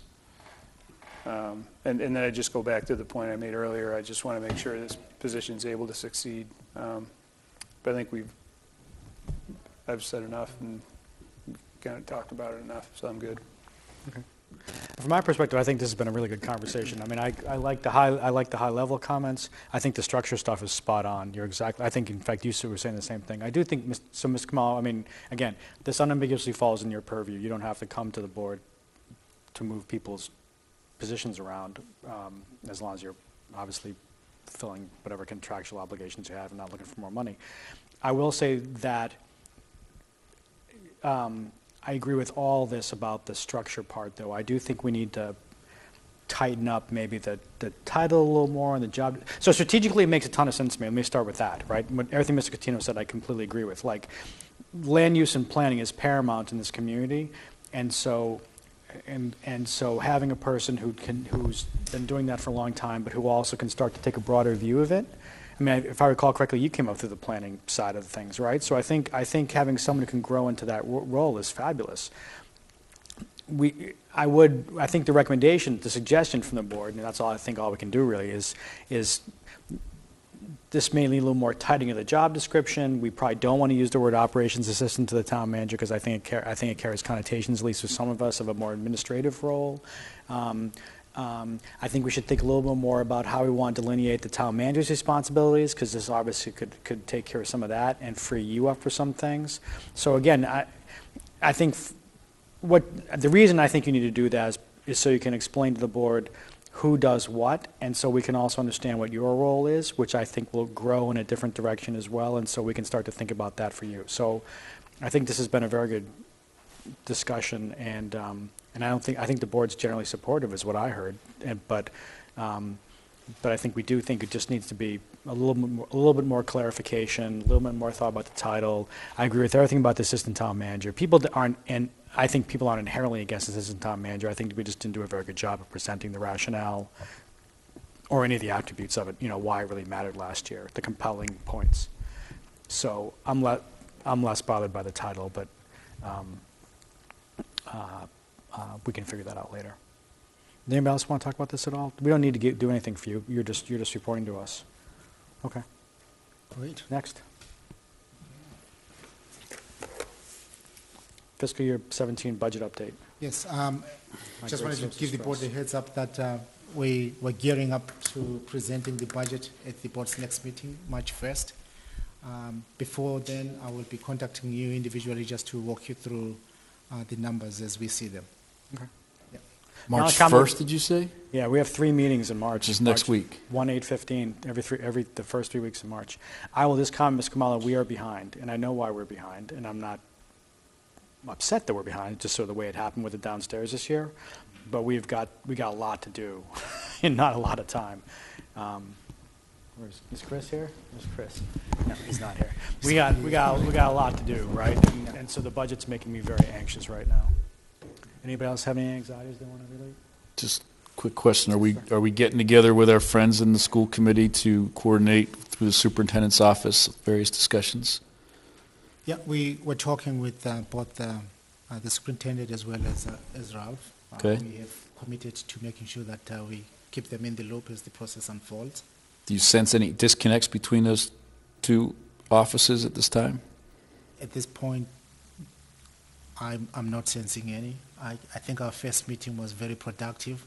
I, I'm always impressed uh, by what I hear from Kathy. Uh, her, her vision for, for the school department is, I think, is impressive. Um, and as we've proven over the last years, uh, we will always try and find a way to, to support uh, her goals and her team's goals. Are these meetings in the same space with everyone sitting around a table looking at each other? Yeah, we, they have a better conference room, so we, our, our last meeting was, uh, It's fine? Okay. Thank you. Anything else in town manager's report, Mr. Khumalo? At this point, I believe I'm, uh, You're done. I'm all set. Okay, future board agenda items, Mr. Catino. Uh, Again, I think we should start looking at parking downtown. Parking, right on, okay. Mr. Herr? None that you we have haven't. something to say on that? Yeah, on that issue, I think our goal is to come before the board either March 1st or the following meeting to present uh, a progress report on the Main Street Corridor project. Okay. So repeat that for me, please. Um, Mr. Cortino uh, had indicated a desire to hear more about parking in the downtown. I pointed out that uh, staff is planning to come before the board in the next, either the March 1st or the following meeting, uh, to present an update or the progress report on the Main Street Corridor project. Including the intersection? Yes. It's gotten a lot more interesting. Uh, And you said you were good on agenda items. Mr. Mosier? Um, Two things. I got an email from somebody, I don't know, maybe a month ago or so, about GE moving to the Boston area. Oh, And I wonder yeah. if this might be a good time to uh, crank up 2020 again, see about um, just If attracting. we had somebody in strategic economic development, if we had somebody in strategic economic development. Right, right. Um, So that was one, and then the other one was uh, around parking also in the, um, in the intersection, um, around Glow's property there. Yeah, we need to spend some time on that, Mr. Khumalo. we got to find some time to work this, that, I mean, in a meaningful way. We should really think seriously about what we can get done this spring on that. Okay. I can assure the board, we will be very busy on that project. Yeah, Um, okay. When, when we met last week with Eversource and Mass DOT, Mhm. um, I think we actually defined uh, some of the issues that we all need to be working on, and it's pretty substantial work Okay. on, on, on Dave's part. Okay. So let's make, let's get that on the agenda the next couple weeks if we can. You know, probably, maybe more than once. Okay. Uh, That's it for agenda items. Chair I'll entertain a motion to adjourn. So moved. Second. Motion second. All in favor, say aye. Aye. Opposed, President, I vote unanimous. Good night, everyone.